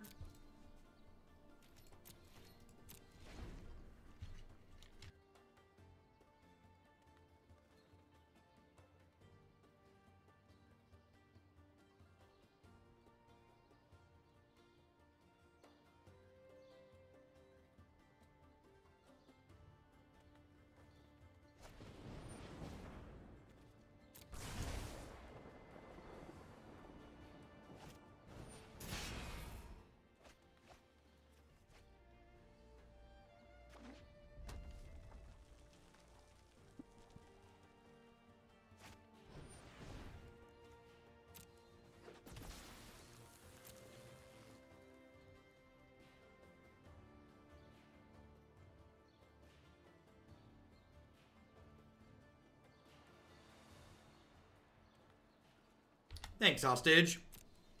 I think it's worth it to use this treasure to activate the treasure map.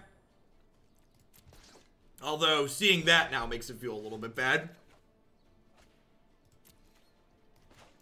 So now we have now we have to shock this. Like, obviously, if I'm clairvoyant, I don't do that there. Because then we could have played a tap line and used the treasure to cast Bellhaunt, but long term, flipping the treasure map sooner is valuable here.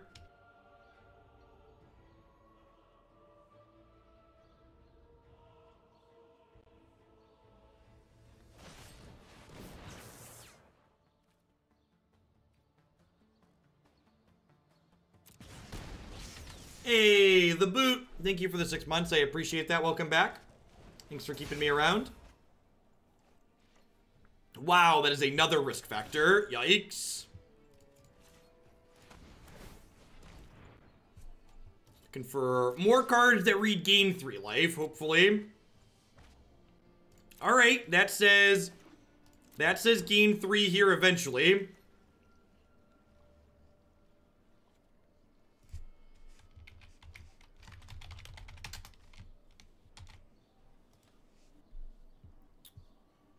think I just passed. Chalky doling out some sub gifties. Thanks for the support. Hope you're having a good one. That's for uh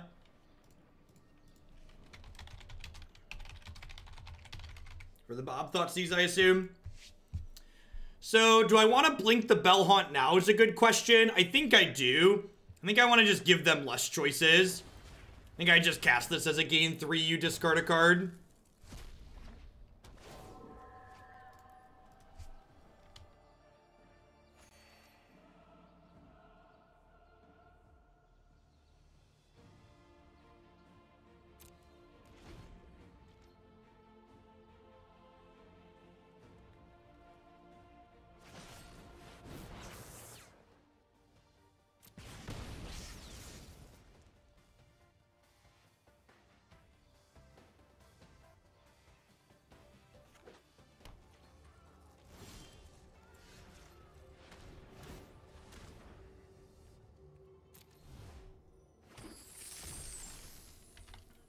No, thank you, God of Flesh. I appreciate the support.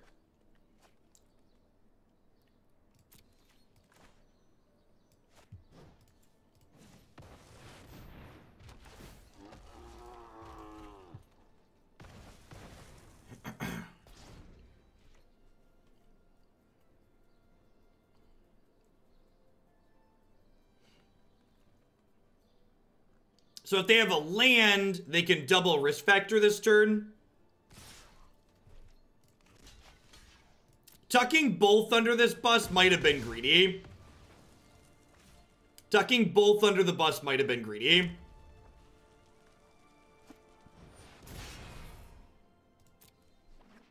There is no Bellhaunt foil. The bus has every foil available.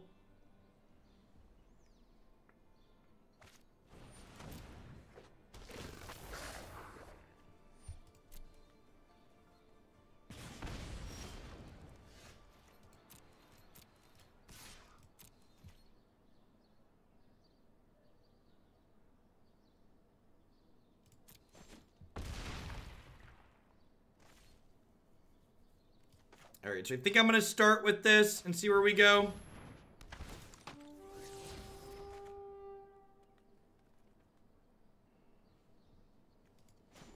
I'm going to do this just in case I draw another Bell Haunt. And then I think, I think I'm just hostage takering my lumbering battlement here.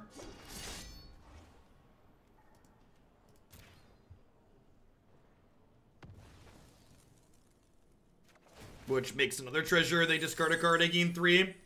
Yeah, I, I think eventually they'll have most things available in foil, especially seeing how successful their initial batch are. Like we've been saying for a long time, Arena isn't a beta because it's buggy. Arena's a beta because it's feature incomplete. I am fairly, fairly certain that they are nowhere near being done with all the things they want to have done in Arena. And I, I'm just going to take eight here, because if I draw a hostage taker or a battlement, we go infinite next turn.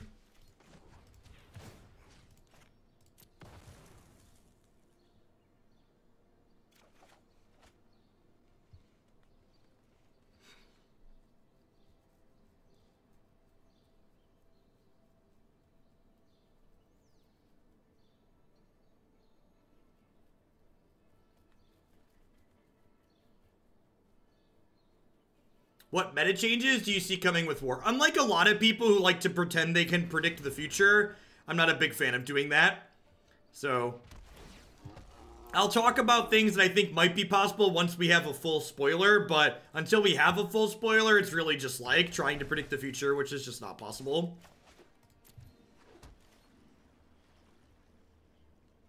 Like, we can't, we can't even make educated guesses right now because we just don't have all the information. Like, educated guesses can be somewhat interesting, but, like, right now they're not that. Or is your last card a burn spell? What you got? We had two draws at six cards to infinite combo them. If we don't die here... Hey, am I dead?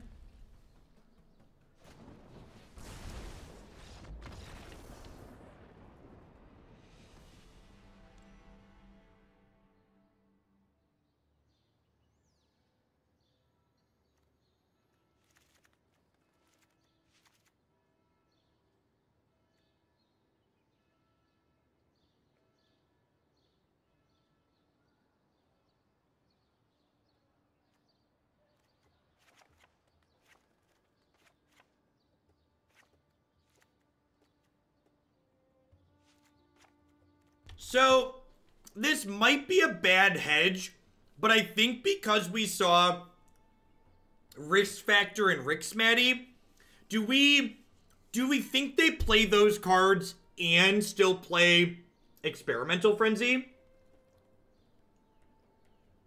Yeah, yeah, I did Deep Rinse. You can find it on the YouTube channel. We played it uh Friday night.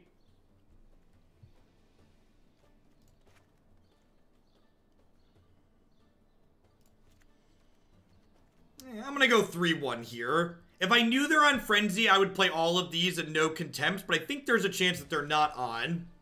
That they're not on Frenzy, with the other cards they're playing.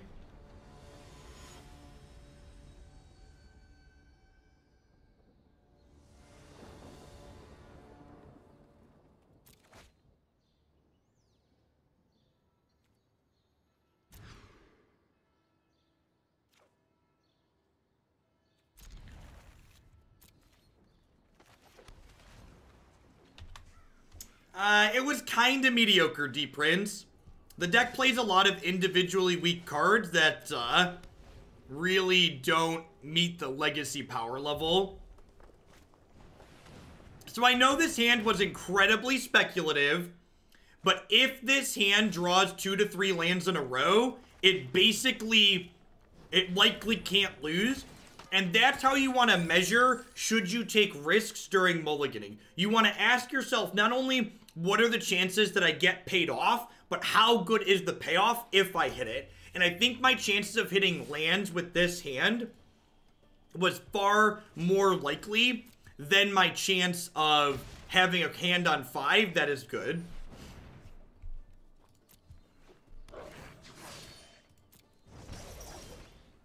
That's true too, Marty. If this had been the London Mulligan rolls, we'd have snapped it off. I think I want to shock this in to play the Bell Haunt because I think I want to save this treasure to play five drops in case I don't hit my fourth, fifth land on time. Which we're getting we're getting very paid off here.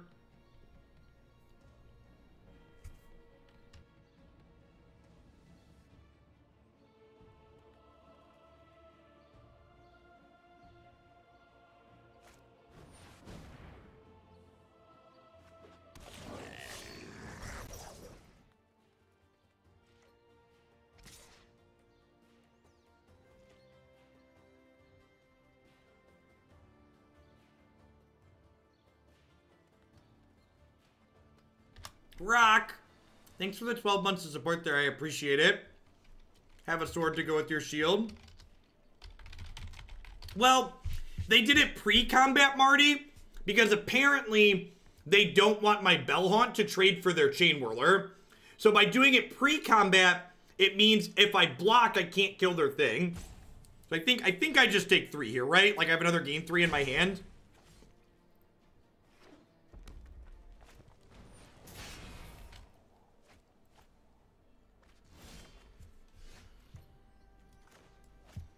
Now that I hit this extra land guaranteed, I'm going to do this. I think it's worth burning the treasure to save two points of life here.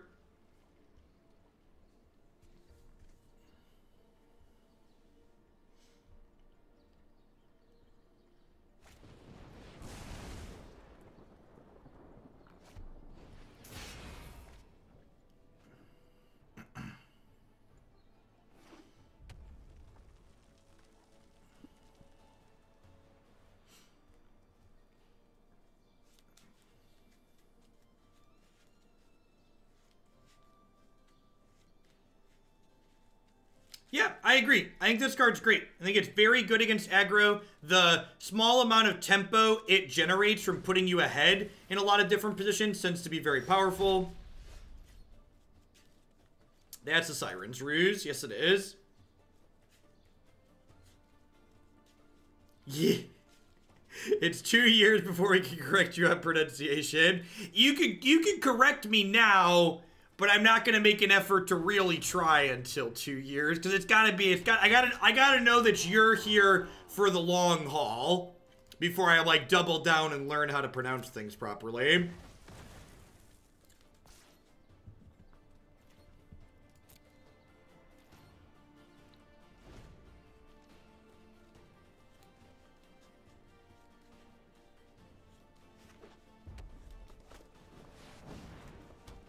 They are playing Frenzy. Okay.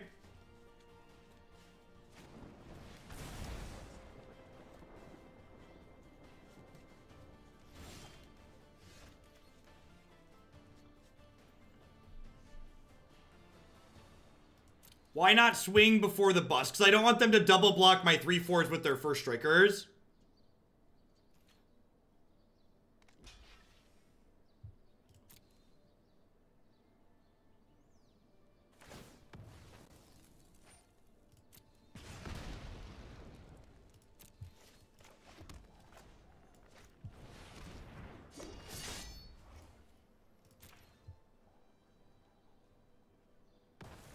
Oh, the vampire flies. This is why you should be specific. Yeah, you're super right. The vampire attack's free. I didn't make the good play because I'm dumb. Or I didn't see it. Dealer's choice.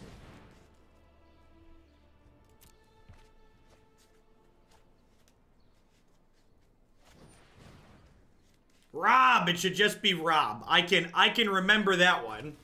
That's that's a super easy one. I got you.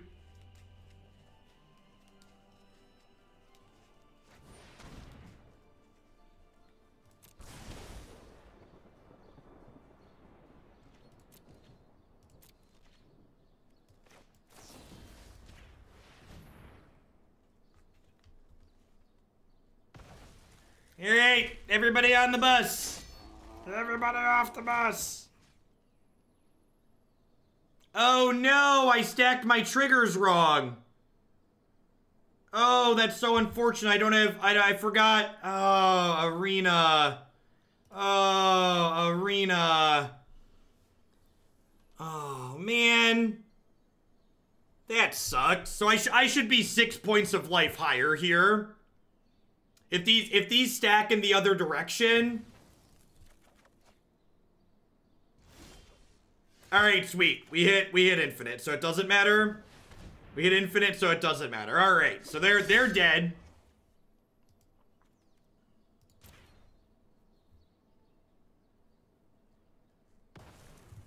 So the bus comes into play. The bus is gonna exile these three things.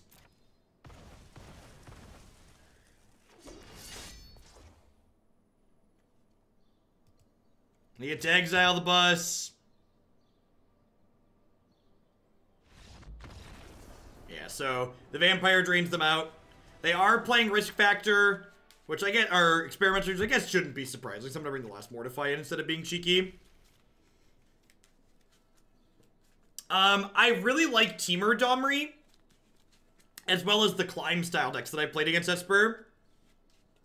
The the thing you have to understand is that Esper Control is playing such a collection of powerful cards that when it's drawing its answers and having everything line up well, it's basically unbeatable. So when things are going right for Esper, you basically can't win. But thankfully, the Esper deck, you know, name a more iconic duo, duo Esper and Mist Land Drops, Esper and, you know, missing a color, etc., etc. Yeah, I agree. The the frequency at which this configuration manages to go infinite is, is very pleasing. This hand is a little bit on the slow side, but I think Sailor into Bellhaunt's definitely a keep. No, no one drop out of the opponent is fantastic for us.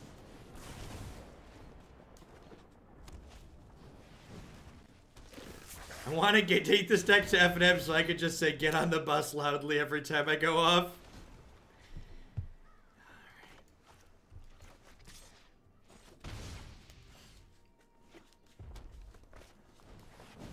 Wow, their hand is mediocre.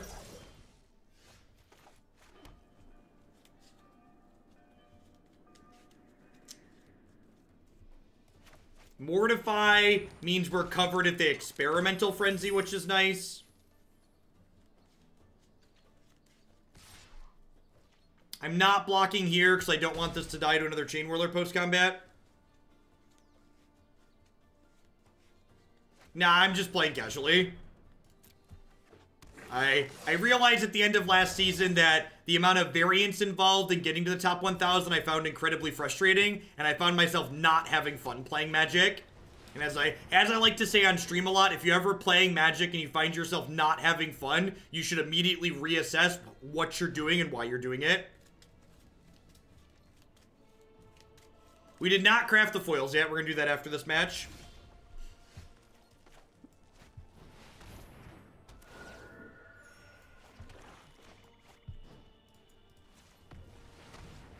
We don't know yet, Pirate.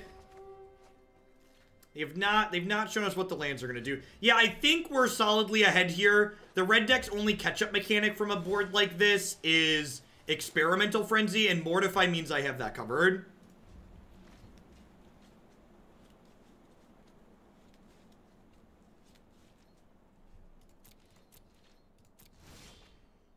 I'm, a lot more lenient on people using the chat as Google since we went to sub-only mode, right? Y'all pay to be here.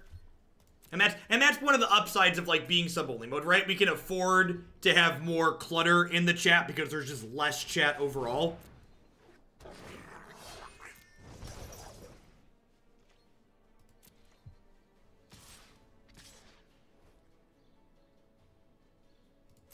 I'm gonna use this as a gain three. I don't think I want to use this one as a gain three though.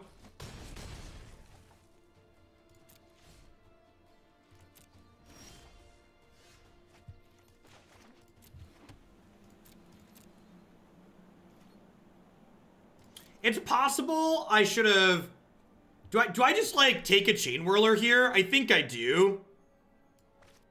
I think, I think that's the line. They could have a burn spell here. If they have, like, a Lightning Strike, they could stop us.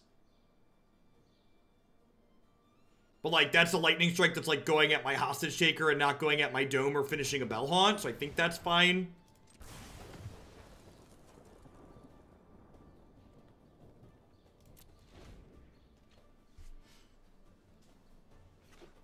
Yeah, I agree, Dunk Daddy. Also, like, if you just want to, like, especially if you want to, like, pseudo, even if you're not just strictly free to play, but just, like, want good value, once you hit Mythic, if you're capable of hitting Mythic, winning, going, like, 4-2 and 5-2 in the constructed events is pretty easy to do consistently.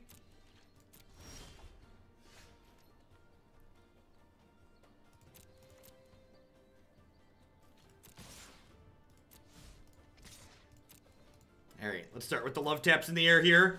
The the Siren's Ruse means if we find another hostage taker or, God forbid, a, a battle bus, we are going to destroy them.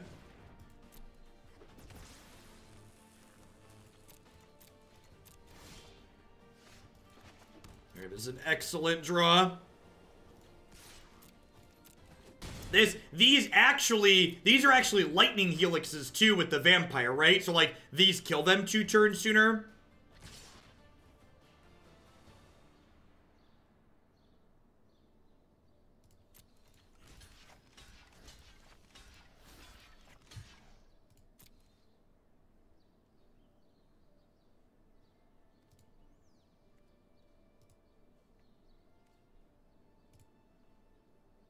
How do I put a stop inside of damage? Do I have to enable full control mode?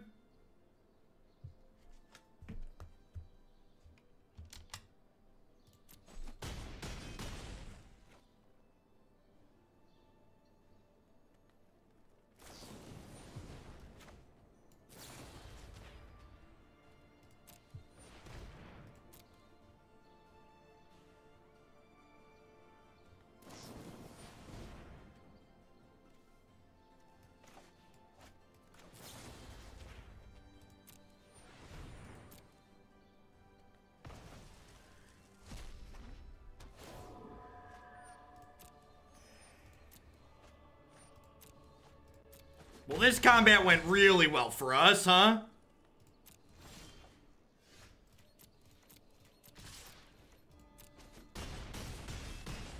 I should have I should have left this back probably.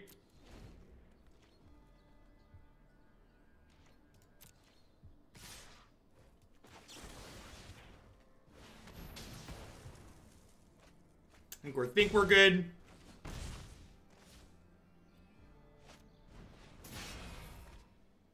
Holy crap, we're gonna die. Holy crap, we're gonna die. Oh no. Oh no. Why does red draw so many cards, chat? Stop, please stop. Please stop. Please stop.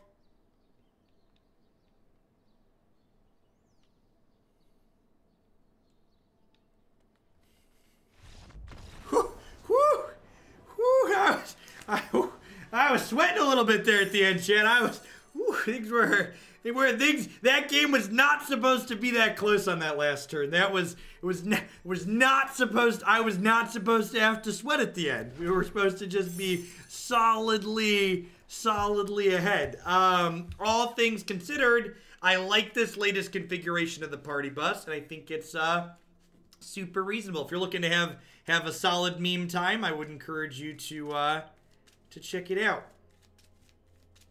All right, uh, we had people donate for lots of foils, so let's foil some cards here, shall we? What are what are cards we play a fair bit of that we would like to foil?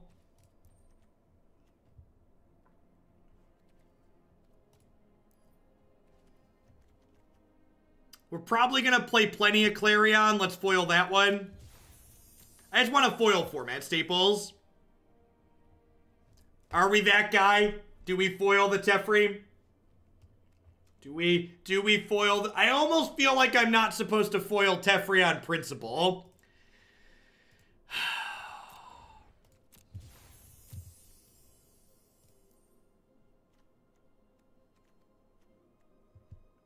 I'll do Cleansing Nova. I feel like Jeskai Control is probably going to be okay in the next set. So I'm to foil, I'm to foil Nova. Yeah, Fight with Fire looks absurd. Let's, let's do that one.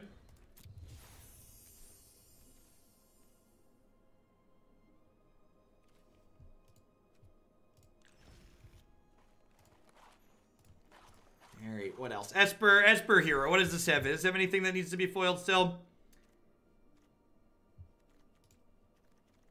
Disinformation campaign. That one's kind of trippy.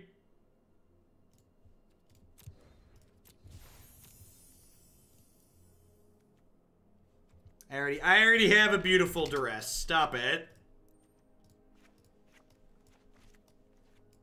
Hey, Dude Light, thanks for the tip. Foil the Teferi. We got you. We got you. Let's just go to the generic collection. Click it. What are, what are cards we play with some consistency that would be good, be good foils? Ooh, we play Angels some amount. I don't know if that one looks that good in foil. I don't know. I don't know how I feel about that one. The party bus does not have a foil available. The rest of my angels are foils, so let's do this one.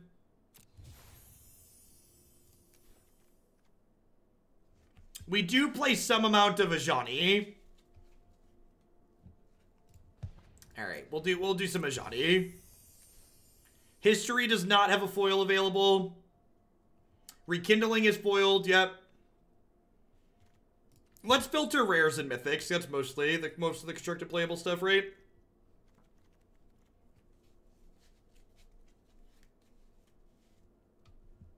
Mm, search for Azcanta is probably a good investment. We're gonna we're gonna get some miles out of that one. Tocatli goes in a lot of places.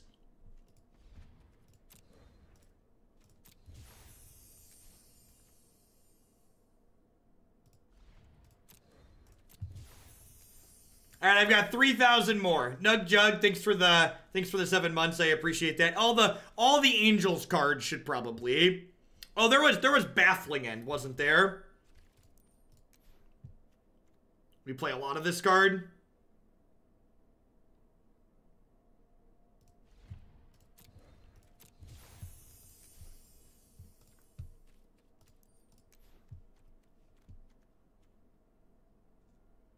The Mass Manip does look good, but we don't really play this card in a lot.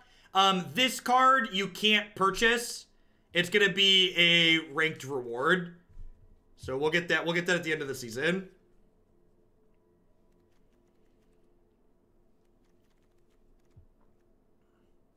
What crappy green cards do I like?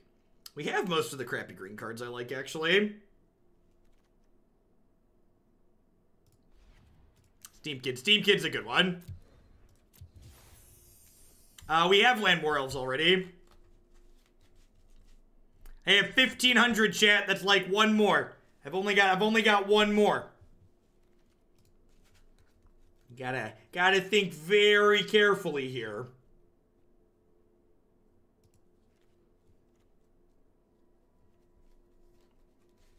I do I do like Gruul aggro. I do like Gruul aggro. I'm gonna I'm gonna do Gruul Spellbreaker. I'm gonna do this one. I don't think that Bolas is very good. The new Bolas will be sweet. I'm gonna do Spellbreaker. Yeah, there we go. Look at that. We spent we spent all of our dollary dues. Spellbreaker. Spellbreaker's a good looking good looking one too, right? It's got the shimmer, good shimmers on it. Good shimmers.